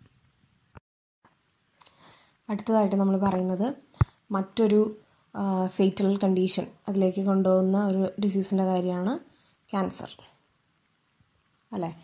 നമ്മൾ ഏറ്റവും ഇപ്പം ഹ്യൂമൻ ബീയിങ്സ് അനുഭവിക്കുന്ന നമ്മൾ മനുഷ്യന്മാർ ഭൂമിയിലുള്ളതിൽ ഏറ്റവും കൂടുതൽ അനുഭവിക്കുന്ന ഒരു പ്രശ്നം എന്ന് പറയുന്ന രീതിയിലേക്ക് ഇപ്പോൾ ക്യാൻസർ മാറിയിട്ടുണ്ട്. അല്ലേ? വളരെ കോമൺ ആയിട്ടുണ്ട് എന്നുള്ളൊരു കാര്യം. പക്ഷെ കോമൺ ആയി എന്ന് പറയുമ്പോൾ നമ്മൾ മനസ്സിലാക്കേണ്ടതെന്ന് വെച്ചാൽ അത്രയും എല്ലാവർക്കും ക്യാൻസർ വരിക എന്നുള്ള അവസ്ഥയിലേക്ക് എല്ലാവർക്കും ഞാൻ in the in the sense നമ്മളല്ലേ നമ്മൾ തിരിഞ്ഞാലും പറഞ്ഞാലും എല്ലായിടത്തും ക്യാൻസറാണ് ആ ഒരു രീതിയിലേക്ക് ഒരു ശരിക്കും പറഞ്ഞാൽ നമ്മളെ ഒരു അസുഖം വന്നിട്ട് ആൾക്കാർ മരിക്കുന്നതിന്റെ മെയിൻ റീസൺ ക്യാൻസറാണ് ലോകത്ത് തന്നെ. ലോകത്ത് ഏറ്റവും കൂടുതൽ ആളുകൾ ഒരു അസുഖത്തിന്റെ പേരിൽ മരിക്കുന്നുണ്ടെങ്കിൽ അത് ക്യാൻസറായിട്ട് മാറുകയാണ്. ഓക്കെ അപ്പം അത്രയും ഒരു ഫേറ്റൽ ആയിട്ടുള്ള ഒരു വന്നു കഴിഞ്ഞാൽ നമ്മൾ വേദനിച്ച് വേദനിച്ച് തീരുന്ന അങ്ങനത്തെ ഒരു ഡിസീസാണ് ക്യാൻസർ എന്ന് പറയുന്നത്. ഓക്കെ അപ്പം ഡിസീസ് ആണെന്ന് പറയുന്നത് നമുക്കറിയാം. ഏറ്റവും കൂടുതൽ സ്റ്റഡി നടക്കുന്ന ഒരു ഫീൽഡ് കൂടിയാണിത്. ഓക്കെ ഓൺകോളജി എന്നാണ് ഇതിന്റെ ഒരു ഫീൽഡിന് പറയാം നമ്മളിപ്പം നിങ്ങൾ കണ്ടിട്ടുണ്ടാവും ഡോക്ടേഴ്സിലൊക്കെ ഓൺകോ ഓൺകോളജിസ്റ്റ് എന്നാണ് ഇതിന്റെ ഈ ക്യാൻസർ സ്പെഷ്യലിസ്റ്റുകളെ പറയുന്നത് ഓൺകോളജിസ്റ്റ് അപ്പം ഓൺകോളജി എന്ന് പറയുന്ന ഈ ഒരു വിഭാഗത്തിലാണ് ഏറ്റവും അധികം സ്റ്റഡീസ് നടക്കുന്നതെന്ന് പറയാം. ലോകത്ത് റിസേർച്ച് നടക്കുന്ന ഒരു വലിയ ഫീൽഡാണിത് കാരണം എന്താണെന്ന് വെച്ചാൽ നമ്മളൊരു എക്സാക്റ്റ് മരുന്നുകൾ കണ്ടുപിടിച്ചിട്ടില്ല. എക്സാക്റ്റ് മരുന്നുകൾ എന്നല്ല അതായത് നമുക്കറിയാമല്ലോ ഒരുപാട് സ്റ്റേജസ് ഒക്കെ ഉണ്ട് ഇതിന് അല്ലേ? ഫസ്റ്റ് സെക്കൻഡ് തേർഡ് ഫോർത്ത് എന്നൊക്കെ പറയണം. അപ്പോൾ ഫോർത്ത് സ്റ്റേജിലേക്കൊക്കെ എത്തിക്കഴിഞ്ഞാൽ പിന്നെ രക്ഷപ്പെടില്ല എന്നൊരു കണ്ടീഷനിലേക്കാണ് പോകുന്നത്. നമ്മൾക്കൊക്കെ നമ്മുടെ എല്ലാവരുടെയും പരിചയത്തിൽ ആൾക്കാരുണ്ടായിരിക്കും ക്യാൻസർ ഉള്ളത്. നമുക്ക് ഡയറക്റ്റായിട്ട് അറിയുന്നതോ നേരിട്ട് നമുക്കറിയുന്ന ആൾക്കാരോ അല്ലെങ്കിൽ അങ്ങനെ അല്ലാത്തവരോ ആയിട്ട് ക്യാൻസർ ഉള്ള ഒരാളറിയാത്ത ആരുമില്ല. അല്ലേ? അപ്പോൾ അത്രയും കോമൺ ആയിട്ടുള്ളൊരു ഡിസീസായിട്ട് ഇത് മാറിയിട്ടുണ്ട്. പിന്നെ നമുക്കറിയാം ക്യാൻസർ എന്ന് പറയുന്നത് അങ്ങനെ ഒരു പ്രത്യേക ഒരു ജീവി കൗസ് ചെയ്യുന്ന ഒരു അസുഖം മിക്കബിൾ ആയിട്ടുള്ളൊരു ഡിസീസ് അല്ല. അല്ലേ? പക്ഷെ ജനറ്റിക്കാണ് ജനറ്റിക്കലായിട്ടുള്ള ഒരു ഡിസീസ് തന്നെയാണ് ക്യാൻസർ എന്ന് പറയുന്നത്. ഓക്കെ അപ്പം നമുക്കതിന്റെ കുറച്ച് കാര്യങ്ങളിലേക്ക് കിടക്കാം. നമ്മുടെ ശരീരത്തിന് നമ്മൾ നോർമലായിട്ടുള്ളൊരു കാര്യം പറയാണ്. നമ്മുടെ ശരീരത്തിൽ സെൽ ഗ്രോത്തും സെൽ ഡിഫറൻസിയേഷനും ഒക്കെ നടക്കുന്നുണ്ട്. അല്ലേ? പക്ഷേ ഇതിന്റെ ഒരു പ്രത്യേകത എന്താണെന്ന് വെച്ചാൽ അതെല്ലാം വളരെ റെഗുലേറ്റഡ് ആയിട്ടുള്ള രീതിയിലാണ് നടക്കുന്നത്. നമ്മളെ സെല്ലിന് ഇപ്പം നമുക്ക് ഒരു ഭാഗത്തൊരു മുറിവുണ്ടായി എന്ന് വിചാരിക്കാം. ആ മുറിവുണ്ടായി കഴിയുമ്പോൾ പിന്നെ എന്ത് ചെയ്യണം? ആ ഒരു ഗ്യാപ്പ് ഫിൽ ചെയ്തുകൊണ്ട് പുതിയ മൈറ്റോസിസ് നടന്നുകൊണ്ട് പുതിയ സെൽസ് അവിടെ വരണം. അപ്പോൾ അതൊക്കെ കൺട്രോൾഡ് ആണ്. എത്ര സെൽസ് ആണ് ഉണ്ടാവണമെന്നൊക്കെ കൺട്രോൾഡ് ആണ്. നമ്മുടെ ഓവറോൾ ഗ്രോത്തിലൊക്കെ അല്ലേ? സെൽ ഗ്രോത്തും ഡിഫറൻസിയേഷനും അത്യാവശ്യമായിട്ടുള്ള കാര്യമാണ്. അപ്പോൾ അതൊക്കെ വളരെ കൺട്രോൾഡ് ആയിട്ടുള്ള രീതിയിലാണ് നമ്മുടെ ശരീരത്തിൽ നടക്കുന്നത്. ഓക്കെ അവിടെ നമ്മളൊരു ടേം പഠിക്കുകയാണ് മെറ്റാസ്റ്റാസിസ് എന്നുള്ളത്. സോറി കോണ്ടാക്ട് ഇൻഹിബിഷൻ എന്നുള്ളൊരു word okay contact inhibition contact inhibition എന്ന് പറഞ്ഞാൽ എന്താണ്? നമ്മൾ നമ്മുടെ ശരീരത്തിൽ നോർമലി ഞാനിപ്പോൾ പറഞ്ഞതുപോലെ കാണുന്ന ഒരു കാര്യമാണ്. സെൽ അതായത് സെല്ലുകൾ ഉണ്ടായി അത് കോണ്ടാക്ട് വരുന്ന സമയത്ത് അങ്ങോട്ടും ഇങ്ങോട്ടും അതിന്റെ അതിന്റെ മേലൊരു കൺട്രോൾ വെക്കാം അപ്പം കൂടുതൽ സെൽസ് അതായത് ആ ഒരു കോണ്ടാക്ട് വഴി ഇൻഹിബിഷൻ ചെയ്യാം എന്തിനുള്ള ഇൻഹിബിഷൻ ഓവർ ഗ്രോത്ത് ഇൻഹിബിറ്റ് ചെയ്യാം ഓക്കെ അതാണ് കോണ്ടാക്ട് ഇൻഹിബിഷൻ എന്ന് പറയുന്നത്. അതായത് കുറേ സെൽസ് ഉണ്ടാകുന്ന സമയത്ത് അങ്ങോട്ടും ഇങ്ങോട്ടും കോണ്ടാക്റ്റിൽ വരുമ്പോൾ അതിന്റെ ഓവർ ഗ്രോത്തിനെ സ്റ്റോപ്പ് ചെയ്യുന്ന രീതിയിൽ. പിന്നീട് അത് ഡിവൈഡ് ചെയ്യുന്നതിനെ സ്റ്റോപ്പ് ചെയ്യുന്ന രീതിയിലൊരു ഒരു പ്രോപ്പർട്ടി നമ്മുടെ സെൽസ് കാണിക്കുന്നുണ്ട്. കോണ്ടാക്ട് ഇൻഹിബിഷൻ എന്നാണ് അതിന് പറയാം. പക്ഷേ ഈ ക്യാൻസറസ് സെൽസിന്റെ പ്രത്യേകത എന്താണെന്ന് വെച്ചാൽ അതിന് ഈ ഒരു പ്രോപ്പർട്ടി ഉണ്ടായിരിക്കില്ല. കോണ്ടാക്ട് ഇൻഹിബിഷൻ എന്നൊരു കാര്യം ഇത് കാണിക്കുന്നില്ല.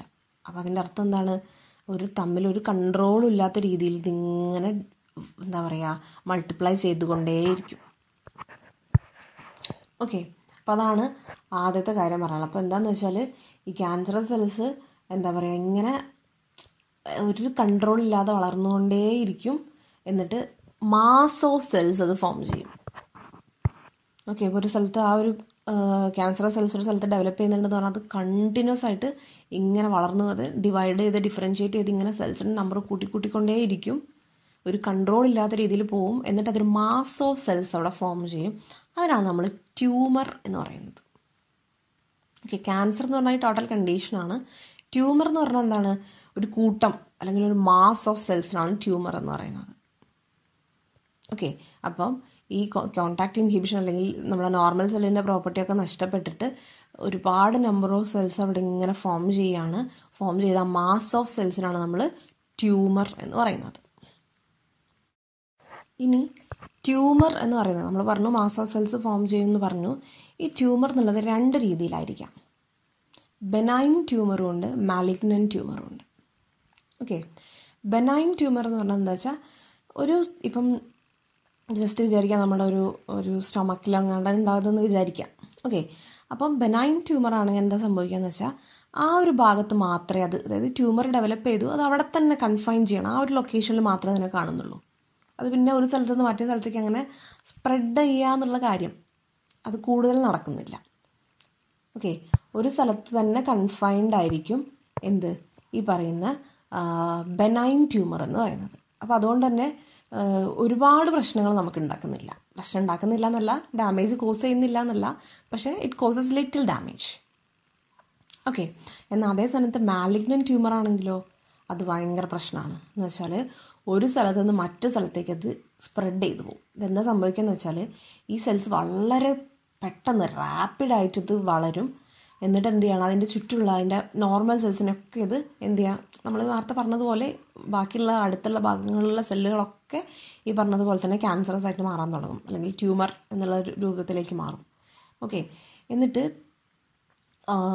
ഇത് ഭയങ്കര ആക്റ്റീവായിട്ട് ഡിവൈഡ് ചെയ്തിട്ട് ഈ അടുത്തുള്ള നമുക്കറിയാം നമ്മുടെ സെല്ലിനൊക്കെ എന്താവശ്യമാണ് എനർജി ആവശ്യമാണ് അല്ല ന്യൂട്രിയൻസ് ഒക്കെ ആവശ്യമാണ്. അപ്പോൾ ഇത് കൂടുതൽ ഓവറായിട്ട് ഗ്രോ ചെയ്യാൻ തുടങ്ങുന്ന സമയത്ത് എന്ത് പറ്റും? ഈ പറയുന്ന ഒരു കോമ്പറ്റീഷൻ വരാൻ തുടങ്ങും ന്യൂട്രിയൻസിനുള്ള ഓക്കെ നമ്മൾക്ക് കഴിക്കാൻ പറ്റുന്ന ഒരു ഇതിനൊരു ലിമിറ്റ് ഉണ്ടല്ലോ. പക്ഷെ നമ്മളെ സെൽസ് അൺലിമിറ്റഡ് ആയിട്ട് വളരും ചെയ്യാണ്. അല്ലേ? മൾട്ടിപ്ലൈ ചെയ്യുകയും ചെയ്യാണ്. അപ്പോൾ എന്ത് ചെയ്യും? ഈ ന്യൂട്രിയൻസിനൊരു കോമ്പറ്റീഷൻ നടക്കുക.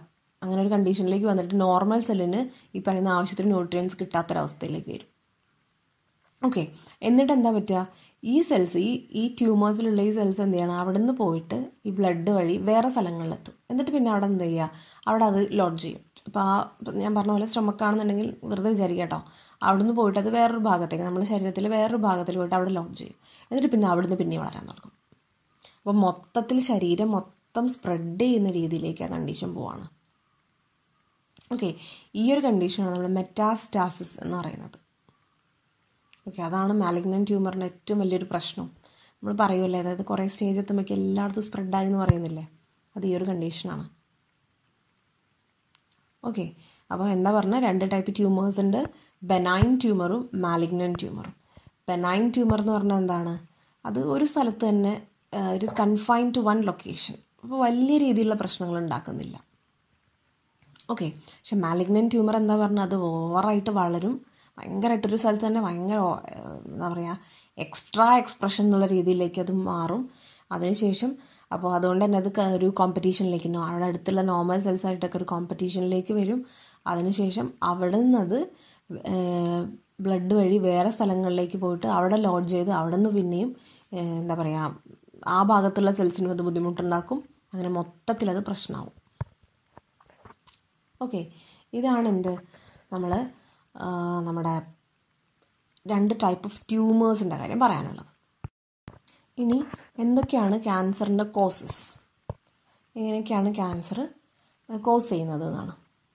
ഓക്കെ അപ്പം മൂന്ന് രീതിയിലാവാം ക്യാൻസർ കോസ് ചെയ്യുന്നത്. Physical chemical biological okay physical reasons ഉണ്ട്. ബയോളജിക്കൽ ഉണ്ട്. കെമിക്കൽ ഉണ്ട്. ഫിസിക്കൽ എന്ന് നമ്മൾ പറയുന്നത് ബേസിക്കലി എന്താണ്? എക്സ്റേ അല്ലെങ്കിൽ എന്താണ് ഈ വേറെ അയണൈസിങ് റേഡിയേഷൻസ് വഴി.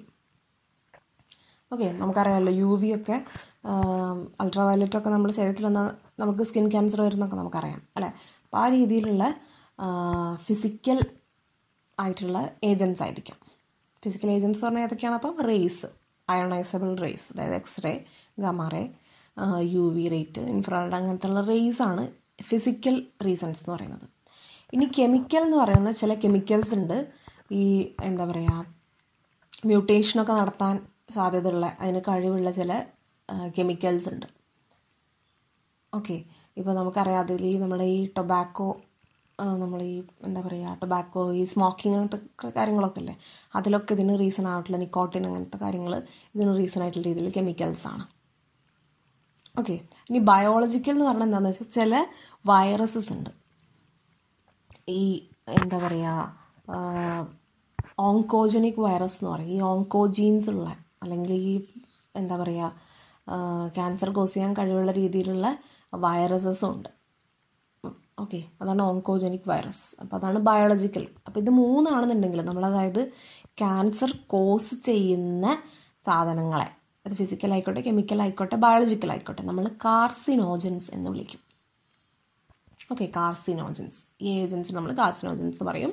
അത് ഫിസിക്കലാവാം ബയോളജിക്കൽ ബയോളജിക്കലാവാം ഓക്കെ ഇനി നമ്മുടെ ശരീരത്തിലൊക്കെ ഓൾറെഡി ചില എന്താ പറയുക പ്രോട്ടോ ഓങ്കോജീൻസ് എന്നുള്ള രീതിയിലുള്ള ചില സെൽസ് നമ്മൾ പറയും നമുക്കൊക്കെ നമ്മളിലൊക്കെ ക്യാൻസറസ് ആയിട്ടുള്ള സെൽസ് ഉണ്ട്. പക്ഷെ ഭയങ്കര പ്രശ്നമൊന്നും ആവാത്ത രീതിയിൽ നമ്മുടെ ഉള്ളിലൊക്കെ ഉണ്ട്. പക്ഷേ ഇതിനെങ്ങനെങ്കിലും രീതിയിൽ എന്ത് ചെയ്താൽ നമ്മൾ ആക്ടിവേറ്റഡ് ആക്കി കഴിഞ്ഞാലാണ് ഇതെന്താവുന്നത്? ഈ ഒരു ഓങ്കോജനിക് ട്രാൻസ്ഫോർമേഷനൊക്കെ നടന്നിട്ട് പ്രശ്നങ്ങൾ ഉണ്ടാവുന്നത് ഓക്കെ അപ്പോൾ ഇതൊക്കെയാണ് ക്യാൻസറിന്റെ കോസസ് എന്ന് പറയുന്നത്.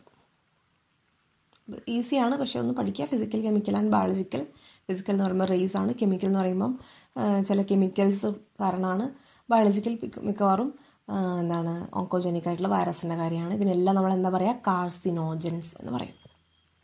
ഇനി നമ്മൾ ക്യാൻസർ ഡിറ്റക്ഷൻ അതുപോലെ അതിന്റെ ട്രീറ്റ്മെന്റ് ഇതാണ് നോക്കുന്നത്. അപ്പോൾ ക്യാൻസർ ഡിറ്റക്ഷൻ അതിന്റെ ഡയഗ്നോസിസ് എന്ന് പറയുന്നത് മിക്കവാറും ബയോപ്സി അതായത് നമ്മളൊരു നമ്മുടെ ഇപ്പോൾ സ്കിന്നിനുണ്ടെങ്കിൽ സ്കിന്നിന്റെ ഒരു ചെറിയ പാർട്ട് എടുത്തിട്ട് നമ്മൾ അതിൽ ടെസ്റ്റ് ചെയ്ത് നോക്കി. അങ്ങനെ അതാണ് ബയോപ്സി എന്ന് പറയുന്നത്. ഓക്കെ അതുപോലെ തന്നെ നമ്മൾ ടിഷ്യൂസിലൊക്കെ സ്റ്റഡി നടത്തുന്ന അതാണ് ഹിസ്റ്റോ പാത്തോളജിക്കൽ ബയോപ്സി എന്നൊക്കെ പറഞ്ഞാൽ അങ്ങനത്തെ ടെസ്റ്റുകളാണ്. നമ്മളൊരു ചെറിയ ഒരു പീസ് എടുത്തിട്ട് അല്ലെങ്കിൽ ഇപ്പോൾ എവിടെയാണ് നമുക്ക് ടെൻ കൺഫ്യൂഷൻ ഉള്ളത് അത് ഉണ്ടോ ഇല്ലേ എന്നുള്ളതെന്ന് വെച്ചാൽ അവിടെ നമ്മൾ എടുത്തിട്ട് ആ ഭാഗം ടെസ്റ്റ് ചെയ്ത് നോക്കി അങ്ങനെയാണ് നമ്മൾ ക്യാൻസർസ് ആണോ കണ്ടുപിടിക്കുന്നത്. ഓക്കെ പിന്നെ എന്താ പറയുക ബ്ലഡിന്റെ കേസ് ആണെങ്കിൽ നമ്മൾ അതിന്റെ കൗണ്ട്സ് ഒക്കെ നോക്കിയിട്ട് ഓവർ ആയിട്ട് ബ്ലഡ് കൗണ്ട് നമ്മുടെ ബ്ലഡ് സെൽസിലെ കൗണ്ട് കാണുന്നുണ്ടോ? ഓക്കെ അങ്ങനെയുള്ള രീതിയിലൊക്കെയാണ് നമ്മൾ ടെസ്റ്റുകൾ ചെയ്യാറുള്ളത്. ഇനി ഒരുപാട് ടെക്നിക്സ് ഇതിന് യൂസ് ചെയ്യുന്നുണ്ട്. റേഡിയോഗ്രഫി സി ടി സ്കാൻ എന്നൊക്കെ നമ്മൾ പറയില്ലേ? ആ സി ടി കമ്പ്യൂട്ടർ ടൊമോഗ്രഫി എന്ന് പറയുന്നത്. അതുപോലെ M R I magnetic resonance imaging ഇങ്ങനെയുള്ള കാര്യങ്ങളൊക്കെ നമ്മൾ ഇന്റേർണൽ ആയിട്ടുള്ള ഓർഗൻസിന് ഉണ്ടെങ്കിൽ നമ്മളിപ്പോൾ എക്സ്റ്റേണൽ സ്കിൻ ക്യാൻസർ ഇപ്പോൾ ബ്ലഡ് ആണെങ്കിൽ പോലും നമുക്കത് എടുക്കാം. അല്ലെ പക്ഷേ ഇന്റേർണൽ ഓർഗൻസിന്റെ കേസിലൊക്കെ ആണെന്നുണ്ടെങ്കിൽ നമുക്കത് എടുത്ത് പുറത്തെടുത്ത് വെച്ച് നോക്കാനൊന്നും കഴിയില്ലല്ലോ. അപ്പോൾ പല രീതിയിലുള്ള സ്കാനിങ് ടെക്നിക്സ് നമ്മളിതിന് യൂസ് ചെയ്യുന്നുണ്ട്. റേഡിയോഗ്രഫി ആയിക്കോട്ടെ C T scan M R I scan അങ്ങനെയുള്ള പല രീതിയിലുള്ള ടെക്നിക്സും നമ്മൾ യൂസ് ചെയ്തിട്ടാണ് നമ്മളിതിനെ ഡിറ്റക്റ്റ് ചെയ്യുന്നത്. ഓക്കെ ഇനി ഇതിൽ ട്രീറ്റ്മെന്റ് എങ്ങനെയാണ് ഇതിൽ നടക്കുന്നത്? നമുക്കറിയാം ഡിഫറെന്റ് ടൈപ്സ് ഓഫ് ട്രീറ്റ്മെന്റ്സ് ക്യാൻസറിന് ഇപ്പോൾ അവൈലബിൾ ആണ്. നമ്മളൊരു മുന്നത്തെ ഒരു ഫസ്റ്റ് സ്റ്റേജിൽ തേർഡ് സ്റ്റേജിലാണെങ്കിൽ വരെ നമ്മൾ മാറ്റാനുള്ള രീതിയിലുള്ള നമ്മുടെ ട്രീറ്റ്മെന്റ്സ് നമ്മളിപ്പോൾ ഡെവലപ്പ് ചെയ്തിട്ടുണ്ട്. ഓക്കെ അപ്പോൾ ഏതൊക്കെയാണ് മെത്തേഡ്സ് ഏതൊക്കെയാണ് ട്രീറ്റ്മെന്റിന്റെ മെത്തേഡ്സ് എന്ന് പറയുന്നത്? സർജിക്കൽ സർജിക്കൽ എന്ന് പറയുമ്പം ക്യാൻസറസ് ടിഷ്യൂസ് ആ സർജിക്കൽ റിമൂവ് ഓക്കെ ആ രീതിയിൽ സർജിക്കൽ ട്രീറ്റ്മെന്റ്സ് നടത്താം. അതാണ് ആദ്യത്തെ ഒരു ടെക്നിക്ക് ആദ്യത്തെ ഒരു ട്രീറ്റ്മെന്റ് മെത്തേഡ് എന്ന് പറയുന്നത്. പിന്നെ എന്താ പറയുക റേഡിയോ തെറാപ്പി നമ്മൾ റേഡിയേഷൻ കരീച്ച് കളയാന്ന് പറയില്ലേ? അങ്ങനെ. റേഡിയേഷൻസ് യൂസ് ചെയ്തുകൊണ്ട് നമ്മൾ ഈ ട്യൂമർ സെൽസിനെ നശിപ്പിച്ച് കളയാം. അപ്പോൾ പിന്നെ അതിനെ സ്പ്രെഡ് ചെയ്യാൻ പറ്റാത്ത രീതിയിലേക്കാക്കി മാറ്റും. അതാണ് റേഡിയോ തെറാപ്പി പിന്നെ നിങ്ങൾ കോമൺ ആയിട്ട് കേട്ടിട്ടുള്ളതാണ് കീമോതെറാപ്പി. ഓക്കെ അതായത് ഈ ക്യാൻസർ സെൽസിനെ നശിപ്പിക്കുന്ന രീതിയിലുള്ള മരുന്നുകൾ യൂസ് ചെയ്യാം. ഓക്കെ അതാണ് കീമോതെറാപ്പി എന്ന് ഉദ്ദേശിക്കുന്നത്. എന്താണ്? മെഡിസിൻസ് ഡ്രഗ്സ് യൂസ് ചെയ്തുകൊണ്ടുള്ള തെറാപ്പിയാണ് കീമോതെറാപ്പി. പക്ഷേ നമുക്കറിയാം അതിന് കുറേ സൈഡ് ഇഫക്ട്സ് ഉണ്ട്. ഹെയർ ഹെയർ ലോസ് ഉറപ്പായിട്ട് സംഭവിക്കുന്ന ഒരു കാര്യമാണ്. അപ്പം അങ്ങനെയുള്ള കാര്യങ്ങളുണ്ട്. പക്ഷേ കോമൺ ആയിട്ട് ചെയ്യുന്ന ഒരു ക്യാൻസർ ട്രീറ്റ്മെന്റാണ് കീമോതെറാപ്പി എന്ന് പറയുന്നത്. പിന്നെന്താണ്? ലാസ്റ്റ് ടെക്നിക്കാണ് ഇമ്മ്യൂണോതെറാപ്പി അപ്പോൾ നമുക്കറിയാം ഇന്റർഫെറോണിനെ പറ്റി നിങ്ങൾ പഠിച്ചിട്ടുണ്ട് അല്ലേ? വൈറസ് ഇൻഫെക്റ്റഡ് ആയിട്ടുള്ള സെൽസിന്റെ സെൽസ് പ്രൊഡ്യൂസ് ചെയ്യുന്നൊരു ഒരു ടൈപ്പ് ഓഫ് എന്താണ് സൈറ്റോകൈനാണ് ഇന്റർഫെറോൺ എന്ന് പറയുന്നത് അപ്പോൾ ഈ ഇന്റർഫെറോൺ ബാക്കിയുള്ള സെൽസിനെ ഹെൽപ്പ് ചെയ്യും എന്ന് ഞാൻ പറഞ്ഞിട്ടുണ്ടായിരുന്നു. ചുറ്റുമുള്ള സെൽസിനെ ഹെൽപ്പ് ചെയ്യും ഇൻഫെക്ഷൻ ഒന്നും തടയും എന്നുള്ളത്. അപ്പോൾ നമ്മൾ എന്ത് ചെയ്യാണ്? ഈ പേഷ്യൻസിലേക്ക് ആൽഫ ഇന്റർഫെറോൺ കൊടുക്കുകയാണ്. അപ്പോൾ എന്താ നമുക്ക് മനസ്സിലാവുമല്ലോ. അപ്പോൾ നമ്മളിപ്പോൾ ഈ ഒരു ആന്റിബോഡി ഓൾറെഡി റെഡിയാക്കി വെച്ചിട്ടുള്ള ആന്റിബോഡി കൊടുക്കുന്ന പോലെ ആൽഫ ഇന്റർഫോൺ ഇന്റർഫെറോൺ കൊടുക്കുകയാണ്. അപ്പോൾ നമുക്ക് ആ ഇമ്മ്യൂൺ സിസ്റ്റത്തിനെ ആക്ടിവേറ്റ് ചെയ്യാനും പിന്നെ ഈ പറയുന്ന ട്യൂമറിനെ ഡിസ്ട്രോയ് ചെയ്യാനുള്ള കേപ്പബിലിറ്റിയിലേക്ക് എത്തുകയാണ്. ഓക്കെ ഇതൊക്കെയാണ് എന്റെ സർജിക്കൽ അതായത് ഈ ക്യാൻസറിന്റെ ട്രീറ്റ്മെന്റ് മെത്തേഡ്സ് എന്ന് പറയുന്നത്. സർജിക്കൽ അതുപോലെ തന്നെ റേഡിയോ തെറാപ്പി അല്ലെങ്കിൽ റേഡിയേഷൻ എന്ന് പറയുന്നത് കീമോതെറാപ്പി ഇമ്മ്യൂണോതെറാപ്പി ഓക്കെ ഇതാണ് നമ്മൾ ട്രീറ്റ്മെന്റ് നമ്മൾ മുന്നേ അതിന്റെ എന്ത് പറഞ്ഞു? ഡിറ്റക്ഷനും പറഞ്ഞു. ഓക്കെ ഇനി നമ്മൾ നോക്കുന്നത് ഇതിലെ ലാസ്റ്റ് ടോപ്പിക്കാണ് drugs and alcohol abuse okay അപ്പം നമുക്കറിയാം ഡ്രഗ്സ് എന്നൊക്കെ പറയുന്നത് ഏതൊക്കെയാണ് നമുക്ക് നമുക്ക് വ്യക്തമായിട്ട് നമുക്കറിയാം. അപ്പോൾ നമുക്കിതിൽ കോമൺ ആയിട്ട് യൂസ് ചെയ്യുന്ന ഡ്രഗ്സ് എന്ന് പറയുന്നത് opioids cannabinoids and coca alkaloids ഇത് മൂന്നുമാണ് കോമൺ ആയിട്ട് യൂസ് ചെയ്യുന്ന ഡ്രഗ്സ് എന്ന് പറയുന്നത്. ഓക്കെ അപ്പോൾ നമുക്ക് ഓരോന്നായിട്ട് നോക്കാം. ഓപ്പിയോയിഡ്സ് ഓക്കെ ഇതിലിപ്പോൾ മിക്കവാറും എല്ലാം എന്താണെന്ന് വെച്ചാൽ ഈ ഫ്ലവറിങ് പ്ലാന്റ്സ് ഉണ്ടല്ലോ. ആൻജിയോസ്പേംസ് അതിൽ നിന്ന് ഒറിജിനേറ്റ് ചെയ്യുന്നതാണ് ഈ പറയുന്ന മിക്കവാറും ഡ്രഗ്സ് പക്ഷേ ചിലത് ഫംഗസിൽ നിന്ന് കിട്ടുന്ന മഷ്റൂം അങ്ങനെ അതിൽ നിന്ന് കിട്ടുന്ന ടൈപ്പ് ഉണ്ട് ഡ്രഗ്സ് ഓക്കെ അപ്പോൾ ഓപ്പിയോയിഡ്സിന്റെ കാര്യം പറയുകയാണെങ്കിൽ നമ്മൾ പറഞ്ഞ ഒരു പെർട്ടിക്കുലർ ടൈപ്പ് ഡ്രഗാണിത് ഇതെന്താ ചെയ്യുകയെന്ന് വെച്ചാൽ നമ്മുടെ സെൻട്രൽ നെർവസ് സിസ്റ്റത്തിലും അതുപോലെ തന്നെ ഗ്യാസ്ട്രോ ഇന്റസ്റ്റിനൽ ട്രാക്റ്റിലും ഓക്കെ ഓപ്പിയോയിഡ് റിസെപ്റ്റേഴ്സ് ഉണ്ട്. ഇതിൽ പോയിട്ട് ബൈൻഡ് ചെയ്യും. ഓക്കെ എന്നിട്ട് അങ്ങനെ ആ റിസെപ്റ്ററിൽ പോയി ബൈൻഡ് ചെയ്ത് കഴിഞ്ഞാൽ പിന്നെയാണ് അത് ഓരോ ആക്ഷൻസ് ചെയ്യാൻ തുടങ്ങുക. ഓക്കെ ഇതിൽ ഈ ഓപ്പിയോയിഡ്സിലുള്ളൊരു ഒരു മെയിൻ എക്സാമ്പിളാണ് ഹെറോയിൻ എന്ന് പറയുന്നത്. നിങ്ങൾ കേട്ടിട്ടുണ്ടായിരിക്കും. നമ്മൾ കോമൺലി സ്മാക്ക് എന്നൊക്കെ അതിനെ പറയും. ഇത് കെമിക്കലി അത് എന്താണെന്ന് വെച്ചാൽ ഡൈ അസറ്റൈൽ മോർഫിൻ എന്ന് പറയുന്ന ഒരു സംഭവമാണ് ഇത് പറയുന്നത്. ഈ എന്താ പറയുക ഒപ്പിയോയിഡ് അല്ലെങ്കിൽ ഹെറോയിൻ എന്ന് പറയുന്നത്. ഓക്കെ അതൊരു വൈറ്റ് ആയി ഒരു വൈറ്റ് കളർ പ്രത്യേകിച്ച് അങ്ങനെ സ്മെല്ലൊന്നും ഇല്ലാത്തൊരു ഒരു ബിറ്റർ ആയിട്ടുള്ളൊരു ക്രിസ്റ്റലൈൻ കോമ്പൗണ്ടാണ് ഓക്കെ ഇതെങ്ങനെ കിട്ടുന്നതെന്ന് വെച്ചാൽ നമ്മൾ ആ നിന്ന് ഡൈ അസറ്റൈൽ മോർഫിൻ എന്ന് പറയുമ്പോൾ മോർഫിന്റെ അസറ്റൈലേഷൻ വഴിയാണ് നമുക്ക് ഈ പറയുന്ന ഹെറോയിൻ എന്ന് പറയുന്ന സംഭവം കിട്ടുന്നത്. ഓക്കെ ഇനി ഇത് പപ്പാവർ സോംനിഫറം അല്ലെങ്കിൽ പോപ്പി പ്ലാന്റ് എന്ന് പറയുന്ന പ്ലാന്റിന്റെ ലാറ്റക്സ് ഓക്കെ നമ്മളിപ്പം റബ്ബറിന്റെ ലാറ്റക്സ് ഇല്ലേ? അതുപോലെ അതിന്റെ ഈ പോപ്പി പ്ലാന്റിന്റെ ലാറ്റക്സിൽ നിന്നാണ് നമ്മളിത് എക്സ്ട്രാക്ട് ചെയ്തെടുക്കുന്നത്. ഓക്കെ. ഇനി അത് നമ്മുടെ ശരീരത്തിലേക്ക് ഈ സ്നോട്ടിങ് നമ്മൾ മൂക്കിലൂടെ അല്ലെങ്കിൽ നമ്മുടെ ഇഞ്ചക്ഷനിലൂടെയൊക്കെയാണ് ഇത് ശരീരത്തിനുള്ളിലേക്ക് എടുക്കുന്നത്. ഇത് വളരെ ഒരു ഡിപ്രസന്റ് ആയിട്ടുള്ള ഒരു സംഭവമാണ്. ഓക്കെ. അപ്പോൾ ഒരുപാട് ബോഡി ഫങ്ഷനൊക്കെ എന്ത് വെച്ചാൽ സ്ലോ ഡൗൺ ചെയ്യും. ഓക്കെ. അതാണ് ആദ്യത്തെ ഡ്രഗ് എന്ന് പറയുന്നത്. ഏതാണ്? ഒപ്പിയോയിഡ് ഓക്കെ ഒപ്പിയം അല്ലെങ്കിൽ ഒപ്പിയോയിഡ് എന്ന് പറയുന്നത് ഇത് കിട്ടുന്നത് പപ്പാവർ സോംനിഫറം അല്ലെങ്കിൽ പോപ്പി പ്ലാന്റ് എന്ന് പറയുന്ന പ്ലാന്റിന്റെ ലാറ്റക്സിൽ നിന്നാണ് കിട്ടുന്നത്. ഇതിൽ ഒരു മെയിൻ ടൈപ്പ് എന്ന് ഈ ഒപ്പിയോയിഡ് എന്ന് പറയുന്ന ഡ്രഗ് കാറ്റഗറിയിലുള്ളത് ഹെറോയിൻ ആണ് മെയിൻ ആയിട്ടുള്ളത്. ഹെറോയിൻ എന്ന് പറഞ്ഞാൽ എന്താണ്? ഡൈ അസറ്റൈൽ മോർഫിൻ ആണ്. അതായത് മോർഫിൻ അസറ്റൈലേഷൻ ചെയ്ത് കിട്ടുന്നതാണ് ഈ പറയുന്ന ഹെറോയിൻ അല്ലെങ്കിൽ ഡൈ അസറ്റൈൽ മോർഫിൻ എന്ന് പറയുന്നത്.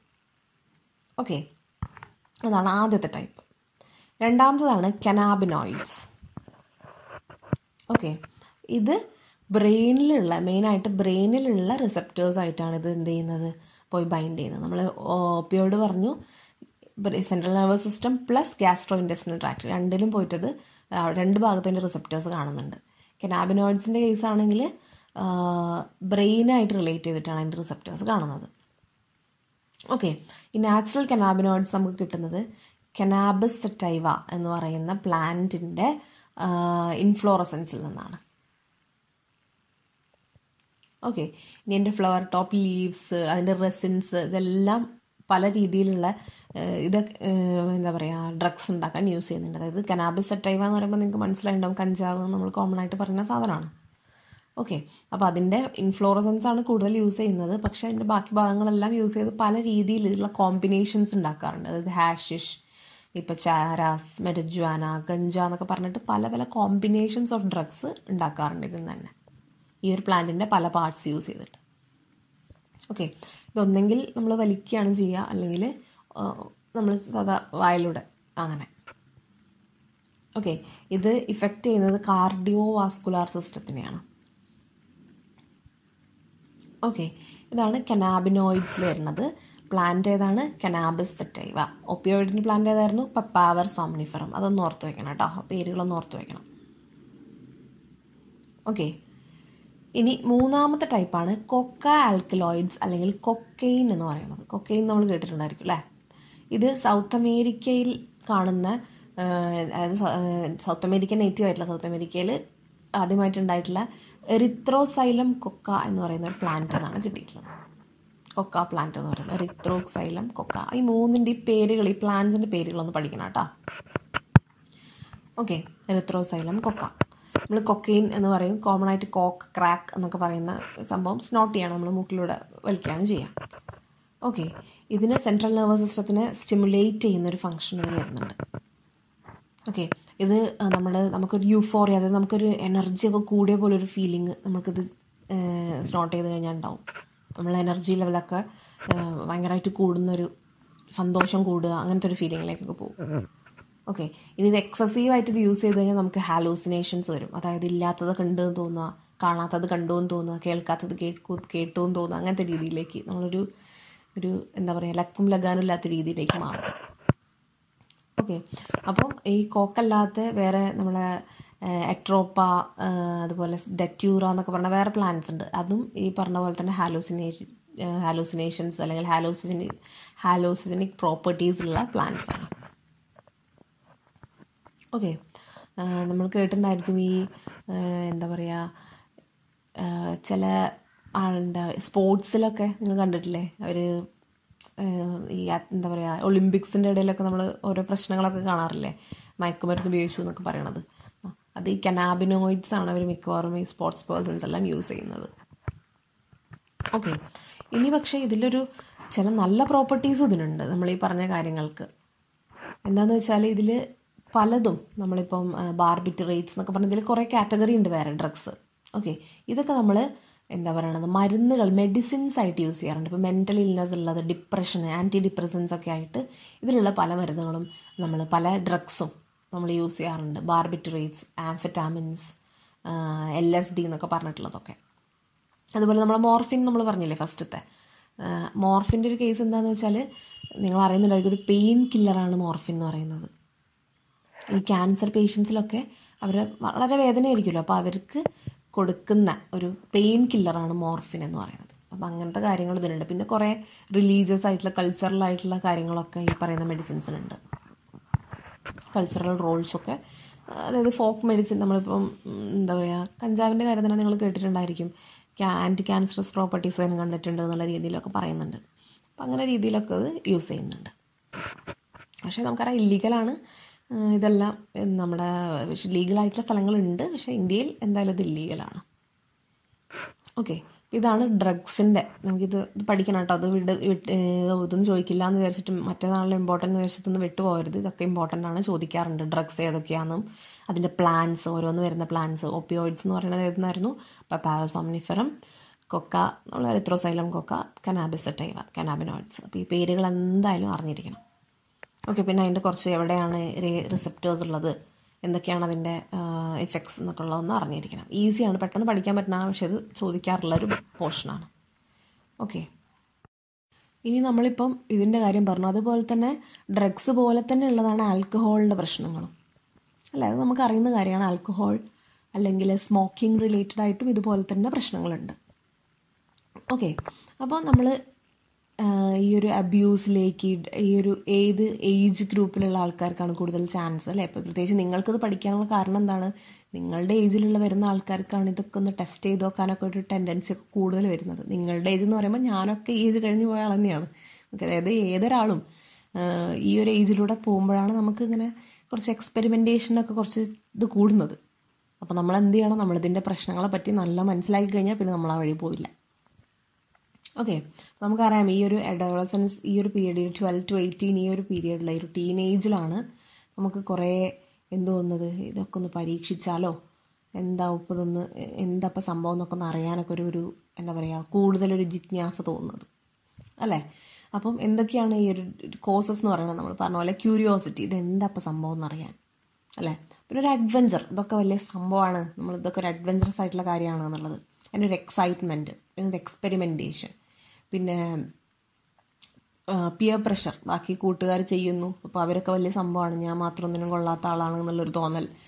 അപ്പോൾ അത് കുട്ടികൾ തന്നെ ഈ നീ ചെയ്യില്ലേ? എന്നുള്ള രീതിയിൽ അല്ലെങ്കിൽ നിനക്ക് ഇതറിയ എന്താ പറയുക സിഗരറ്റ് വലിച്ചിട്ടില്ലേ ഇതുവരെ കള്ളു കുടിച്ചിട്ടില്ലേ എന്നൊക്കെ ഉള്ളത് വലിയ അഭിമാന പ്രശ്നം പോലുള്ള രീതിയിലൊക്കെ അവതരിപ്പിക്കുമ്പോൾ അല്ലേ? പിന്നെ എക്സാം ടെൻഷൻസ് അപ്പം അങ്ങനെയുള്ള സ്ട്രെസ്സുകളൊക്കെ കൊണ്ടാണ് ഈ ഒരു ഒരു ഇതിലേക്ക് പോകുന്നത്. പക്ഷെ ഇതിന് ഒരുപാട് പ്രശ്നങ്ങളുണ്ട് നമ്മൾ മനസ്സിലാക്കി കഴിഞ്ഞാൽ പിന്നെ പോവില്ല. എന്തൊക്കെ പ്രശ്ന? റെക്ലെസ് ബിഹേവിയർ നമുക്കൊരു കോൺസ്റ്റന്റ് ആയിട്ടൊരു ബിഹേവിയർ അല്ല. നമ്മൾ ആകെ എന്താ പറയുക പ്രാന്തളകിയ പോലെ ഇങ്ങനെ അല്ലേ? മലീഷ്യസ് മിസ്റ്റീഫ് നമ്മളെ സ്വഭാവത്തിലൊക്കെ മാറ്റങ്ങൾ വരാൻ തുടങ്ങും. വയലൻസ് അതൊരു വലിയ പ്രശ്നമാണ് അല്ലേ? അക്കാഡമിക് അതിന്റെ ഭാഗമായിട്ട് നമ്മൾ മൊത്തത്തിൽ അപ്പം അക്കാഡമിക് പെർഫോമൻസിലൊക്കെ ഡൗൺ ആവാൻ തുടങ്ങും. ഡിപ്രഷൻ ഐസൊലേഷൻ പിന്നെ അഗ്രസീവായിട്ട് ബിഹേവ് ചെയ്യുക. ഇങ്ങനെയുള്ള ഒരുപാട് പ്രശ്നങ്ങളിലേക്ക് ഈ പറയുന്ന ആൽക്കഹോൾ അല്ലെങ്കിൽ ഡ്രഗ് അബ്യൂസ് നമ്മൾ കൊണ്ടെത്തിക്കും. നമ്മളൊരു എക്സൈറ്റ്മെന്റിലൊക്കെ തുടങ്ങുന്നതായിരിക്കും. പക്ഷെ ചെന്നെത്തുന്നത് വളരെ വലിയ അപകടങ്ങളിലായിരിക്കും. ഓക്കെ നമ്മളൊക്കെ അവിടെ ഇവിടെയൊക്കെ കണ്ടിട്ടുണ്ടായിരിക്കും. അല്ലെങ്കിൽ ഒരു പക്ഷെ നിങ്ങളുടെ കൂട്ടത്തിൽ തന്നെ ആരെങ്കിലും ഇതൊക്കെ ചെയ്യായിരിക്കും. നിങ്ങൾക്ക് പേഴ്സണലി അറിയുന്ന ആൾക്കാർ തന്നെ ഈ ഒരു രീതിയിലേക്ക് പോകുന്നത് കാണാം. ട്വൽത്ത് എത്തിയല്ലോ അപ്പോൾ സാധ്യതകളുണ്ട്. പക്ഷേ നമ്മൾ എന്ത് ചെയ്യുക അത് മനസ്സിലാക്കുക. ഇതൊരിക്കലും നല്ല ശീലമല്ല. ഒരു നല്ല കാര്യം ഇതിനെ കൊണ്ട് ഉണ്ടാക്കാൻ ഉണ്ടാവുന്നില്ല. നമ്മുടെ ശരീരത്തിനും നമ്മുടെ മനസ്സിനും ഒന്നിനും സൊസൈറ്റിക്കും എവിടെയും. മോശമായിട്ടുള്ള കാര്യം മാത്രമാണ് ഡ്രഗ് ആയാലും ആൽക്കഹോൾ ആയാലും. അപ്പം അതിലേക്ക് പോവാതിരിക്കുക എന്നുള്ളതാണ് ഏറ്റവും ബെസ്റ്റ് നമ്മൾ അതിന്റെ ദോഷങ്ങളൊക്കെ മനസ്സിലാക്കി ആ വഴിയിലേക്ക് പോവാതിരിക്കുക. ഓക്കെ പിന്നെ നമ്മളിപ്പം നിങ്ങൾക്കറിയാം നമ്മൾ ഈ കള്ളൊക്കെ കുടിക്കുന്ന ആൾക്കാർക്ക് അത് കണ്ടിന്യൂസ് ആയിട്ട് ദിവസവും എപ്പോഴും കള്ളിൽ ഈ വെള്ളത്തിലായിരിക്കുന്ന ആൾക്കാർക്ക് നിർത്തുമ്പോൾ ഒരുപാട് പ്രശ്നങ്ങളുണ്ടായിരിക്കും. നമ്മൾ വിത്ഡ്രോവൽ സിൻഡ്രം എന്നതിന് പറയും. നമ്മൾ പറയാറില്ലേ അതായത് സിനിമയിലൊക്കെ നമ്മൾ കാണാറുണ്ടല്ലേ ഈ ഒരു ദിവസം കുടിച്ചില്ലെങ്കിൽ കൈ വിറയ്ക്കുക എന്നൊക്കെ പറയില്ലേ? അത് നമ്മൾ വെറുതെ എന്താ ആലങ്കാരികമായിട്ട് പറയുന്നതല്ല. അത് ശരിക്കും അങ്ങനെയുള്ള ഇഷ്യൂസ് ഉണ്ട്. അതായത് ഒരു ദിവസം നമ്മൾ കണ്ടി നമ്മുടെ ശരീരത്തിന് മൊത്തം ഈ ഒരു ഈ സാധനം കൺട്രോൾ ചെയ്ത് വെച്ചിരിക്കുകയാണ്. അതുകൊണ്ട് തന്നെ ഒരു ദിവസം കിട്ടില്ല എന്നുള്ള അവസ്ഥ വരുമ്പോഴേക്കും എന്താ പറ്റുക? നമ്മുടെ ശരീരം മൊത്തമായിട്ട് വിറയ്ക്കാൻ തുടങ്ങും. നമുക്ക് ആങ്സൈറ്റി സ്വെറ്റിങ് അങ്ങനത്തെ കുറേ ഇതിലേക്ക് പോകും. നൗസിയ നമ്മൾ വൊമിറ്റ് ചെയ്യാൻ വരുന്ന രീതിയിൽ അങ്ങനെ കുറേ പ്രശ്നങ്ങളിലേക്ക് പോകും. ഇതിനാണ് നമ്മൾ വിത്ഡ്രോവൽ സിൻഡ്രം എന്ന് പറയുന്നത്. അതായത് ഇത് സ്റ്റോപ്പ് ചെയ്യാൻ സമയത്ത് സ്റ്റോപ്പ് ചെയ്യാന്നല്ല നമുക്കിത് കിട്ടാത്ത അവസ്ഥ വരുമ്പോൾ നമ്മളിനിപ്പോൾ മനഃപൂർവം സ്റ്റോപ്പ് ചെയ്യാൻ നോക്കുകയാണെങ്കിലും നമുക്ക് കുറേ അതിന്റെ ഒരു ആഫ്റ്റർ എഫക്റ്റ് എന്നുള്ള രീതിയിൽ കുറേ പ്രശ്നങ്ങൾ കാണാം. അതിനാണ് നമ്മൾ വിത്ഡ്രോവൽ സിൻഡ്രം എന്ന് പറയുന്നത്. ഓക്കെ അപ്പോൾ അപ്പോൾ ഇതിലേക്കൊന്നും ഈ ഇതിലേക്കൊന്നും പോകാതിരിക്കുകയാണ് എന്തോ എപ്പോഴും നല്ലത് എന്ത് പ്രിവെന്റ് ചെയ്യുക. ഈ പറയുന്ന നമ്മൾ യൂസ് ചെയ്യാതിരിക്കുക. നമ്മളിതിന്റെ പ്രശ്നങ്ങളൊക്കെ മനസ്സിലാക്കിയിട്ട് ഈ കാര്യങ്ങളിൽ നമ്മൾ വിട്ടു നിൽക്കുക. അതാണ് നമ്മൾ ചെയ്യേണ്ടത്. ഓക്കെ അപ്പോൾ എന്തൊക്കെ കാര്യങ്ങൾ നമ്മളിതിനെ പ്രിവെന്റ് ചെയ്യാൻ അല്ലെങ്കിൽ നമ്മൾ പ്രിവെന്റ് ചെയ്യാനുള്ള കാര്യം നമ്മൾ ഞാനിപ്പോൾ പറഞ്ഞ പോലെ തന്നെ ഇനി അത് കൺട്രോൾ ചെയ്യാനും എന്തൊക്കെ നമുക്ക് ശ്രദ്ധിക്കാം. അവോയ്ഡ് അൺഡ്യൂ പിയർ പ്രഷർ അതായത് നീ ഒന്നിനും കൊള്ളാത്ത ആളാണ്. എന്താ പറയുക ഇതൊന്നും ഇതുവരെ ട്രൈ ചെയ്തിട്ടില്ലേ? ഒരു വർഷം പോലും സിഗരറ്റ് വലിച്ചിട്ടില്ലേ? ഒരു പ്രാവശ്യം പോലും ഒരു പെഗ് പോലും അടിച്ചിട്ടില്ലേ എന്നൊക്കെ ചോദിക്കുന്നത് അത് അതിലൊരു കാര്യമില്ല. അത് അതൊക്കെ അഭിമാനകരമായിട്ട് പറയാൻ പറ്റുന്ന കാര്യങ്ങളൊന്നും അല്ല എന്നുള്ളത് ആദ്യം മനസ്സിലാക്കുക.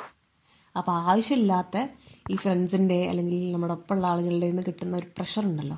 അതൊരു യൂസ്ലെസ് ആയിട്ടുള്ള കാര്യമാണെന്ന് മനസ്സിലാക്കുക. അത് ആവശ്യമില്ലാത്ത കാര്യത്തിനാണ് അവർ നമ്മളെ പ്രഷർ ചെയ്യുന്നത് എന്നുള്ളത് നമ്മൾ മനസ്സിലാക്കുക. ശരിക്കും അവരെയും കൂടി കറക്റ്റ് ചെയ്യാൻ നമ്മൾ നോക്കണം എന്നുള്ളതാണ്. ഓക്കെ അതാണ് ആദ്യത്തെ കാര്യം എന്ന് പറയുന്നത്. അവോയ്ഡ് അൺഡ്യൂ പിയർ പ്രഷർ ആവശ്യമില്ലാത്ത പ്രഷർ നമ്മൾ ഒഴിവാക്കുക. അത് നമുക്കത് ആവശ്യമില്ലാത്ത കാര്യമാണ്. നമുക്ക് ദോഷം ഉണ്ടാകുന്ന കാര്യമാണ് നമ്മൾ മനസ്സിലാക്കുക. ഓക്കെ എഡ്യൂക്കേഷൻ ആൻഡ് കൗൺസിലിംഗ് തീർച്ചയായും നമ്മൾ എഡ്യൂക്കേഷൻ ഞാനിപ്പോൾ പറഞ്ഞ പോലെ നമ്മളിതിന്റെ ദോഷവശങ്ങൾ നമ്മൾ വ്യക്തമായിട്ട് മനസ്സിലാക്കി കഴിഞ്ഞാൽ നിങ്ങളിപ്പം സിനിമാ തിയേറ്ററിലൊക്കെ പോകുമ്പോൾ അല്ലേ ഫസ്റ്റ് വരുന്നത് എന്താ? ശ്വാസകോശം സ്പോഞ്ച് പോലെയാണ് എന്ന് പറഞ്ഞിട്ടാണ്. പക്ഷെ അത് വലിയൊരു അത് നമുക്കൊരു കോമഡി പോലെയൊക്കെ പറയുന്നുണ്ടെങ്കിൽ അതങ്ങനെ ഒരു കോമഡി അല്ല എന്ന് മാത്രമല്ല അത് കണ്ടിട്ട് കുറച്ചെങ്കിലും ആൾക്കാർ ഇത് ശരിയല്ല ഇത് ഇത്രയും പ്രശ്നങ്ങളിൽ ഉണ്ടാകുന്നുണ്ടെന്ന് മനസ്സിലാക്കിയിട്ടുണ്ടായിരിക്കും. അപ്പോൾ നമ്മൾ എല്ലാ ഭാഗങ്ങളും എപ്പോഴും നമ്മൾ ഇതിനെ ബോധവൽക്കരിച്ചുകൊണ്ടിരിക്കുക. ഓക്കെ ഈ പറയുന്നതെല്ലാം നമ്മളിപ്പോൾ അല്ല ഈ എന്താ പുറത്തൊക്കെ പോകുമ്പോഴൊക്കെ നമ്മൾ പല ഫ്ലെക്സിലൊക്കെ നമുക്ക് കാണാം. ഈ പുകയിലൊക്കെ ഉപയോഗിച്ചിട്ട് മൗത്ത് ക്യാൻസർ വന്നിട്ടുള്ള ഫോട്ടോസ്. അപ്പോൾ അതൊക്കെ കണ്ടാൽ തന്നെ നമുക്ക് പിന്നെ ഒരു പേടിയാവും. അല്ലേ? അപ്പോൾ നമ്മൾ ആ രീതിയിൽ നമ്മൾ ബോധവൽക്കരിക്കുക. ഇതിലുണ്ടാകുന്ന പ്രശ്നങ്ങൾ ഇങ്ങനെയൊക്കെയാണ് നമ്മൾ മനസ്സിലാക്കുക. അതാണ്. അതൊരു വളരെ ഇമ്പോർട്ടന്റ് ആയിട്ടുള്ള സ്റ്റെപ്പാണ്. Okay seeking help from parents and peers നമ്മളിങ്ങനെ ഒരു ബുദ്ധിമുട്ടിലേക്ക് പോകുന്നുണ്ട്. നമ്മളിപ്പം ഇത് യൂസ് ചെയ്ത് നമുക്ക് നിർത്തണം. അങ്ങനെ ഒരു കാര്യമാണെന്നുണ്ടെങ്കിൽ നമ്മൾ എന്ത് ചെയ്യുക മറ്റുള്ളവരുടെ ഹെൽപ്പ് തേടുക. അതിൽ തെറ്റൊന്നുമില്ല. നിങ്ങൾക്ക് ഷെയർ ചെയ്യാൻ പറ്റുന്ന ആൾക്കാരോട് ഷെയർ ചെയ്യുക ഇനി അല്ലാതെ നമുക്ക് വേറെ പ്രശ്നങ്ങളൊക്കെ ഉണ്ടാകുമ്പോഴാണല്ലോ മെന്റലി നമ്മൾ ഡിപ്രസ്ഡ് ആകുമ്പോഴാണ് നമ്മൾ ഡ്രഗ്സ് യൂസിലേക്ക് പോകുന്നത്. ആൽക്കഹോൾ ഡ്രഗ്സ് യൂസിലേക്ക് അപ്പം അതിലേക്ക് പോവാതെ നമ്മൾക്ക് ഉണ്ടാകുന്ന പ്രശ്നങ്ങൾ നമ്മൾ ബാക്കിയുള്ളവരായിട്ട് ഷെയർ ചെയ്യാം. നമ്മൾ ഹെൽപ്പ് ചെയ്യാം. നമുക്ക് ഒരു സഹായം വേണമെന്നുണ്ടെങ്കിൽ നമ്മൾ ധൈര്യമായിട്ട് ചോദിക്കുക എനിക്കിങ്ങനെ ഒന്ന് വേണം. എനിക്കിങ്ങനെ പ്രശ്നമുണ്ട് എന്ന് നമ്മൾ പറയാം. അല്ലാതെ നേരിട്ട് നമ്മൾ ഈ പറയുന്ന എന്താ പറയുക ഡ്രഗ്സും ആൽക്കഹോൾ യൂസിലേക്ക് പോകലല്ല അതിന്റെ പരിഹാരം. ഓക്കെ ഇനി എന്തൊക്കെയാണ് ഈ ഇതിൽ വരുന്ന ഈ പറഞ്ഞ നമ്മൾ മുകളിൽ പറഞ്ഞ കാര്യങ്ങളൊക്കെ ഉണ്ടല്ലോ. ഇതെല്ലാം നമ്മൾ ശ്രദ്ധിക്കുക എന്നുള്ളതാണ് ഈ ലുക്കിംഗ് ഫോർ ഡേഞ്ചർ സയൻസ് എന്നുള്ളതിനെ കൊണ്ട് ഉദ്ദേശിക്കുന്നത്. നമ്മൾ പാരൻസും ടീച്ചേഴ്സും എല്ലാവരും നമ്മൾ അലേർട്ടായിട്ടിരിക്കുക ഇങ്ങനെയുള്ള കാര്യങ്ങളൊക്കെ ഉണ്ട്. അപ്പോൾ അതുകൊണ്ട് തന്നെ നമ്മൾ ശ്രദ്ധിക്കണം എന്നുള്ള കാര്യത്തിൽ നമ്മൾ അലേർട്ടായിട്ടിരിക്കുക ലാസ്റ്റ് എന്താ പറയുന്നത് സീക്കിംഗ് പ്രൊഫഷണൽ മെഡിക്കൽ ഹെൽപ്പ് നമ്മൾ സൈക്കോളജിസ്റ്റും സൈക്കാട്രിസ്റ്റ് അല്ല de addiction centres rehabilitation centres അങ്ങനെ കുറേ കാര്യങ്ങളുണ്ട്. നമ്മൾ ഇതിലേക്കൊക്കെ കടന്നു കഴിഞ്ഞാൽ നമ്മളെ രക്ഷിക്കാൻ പറ്റുന്നത്.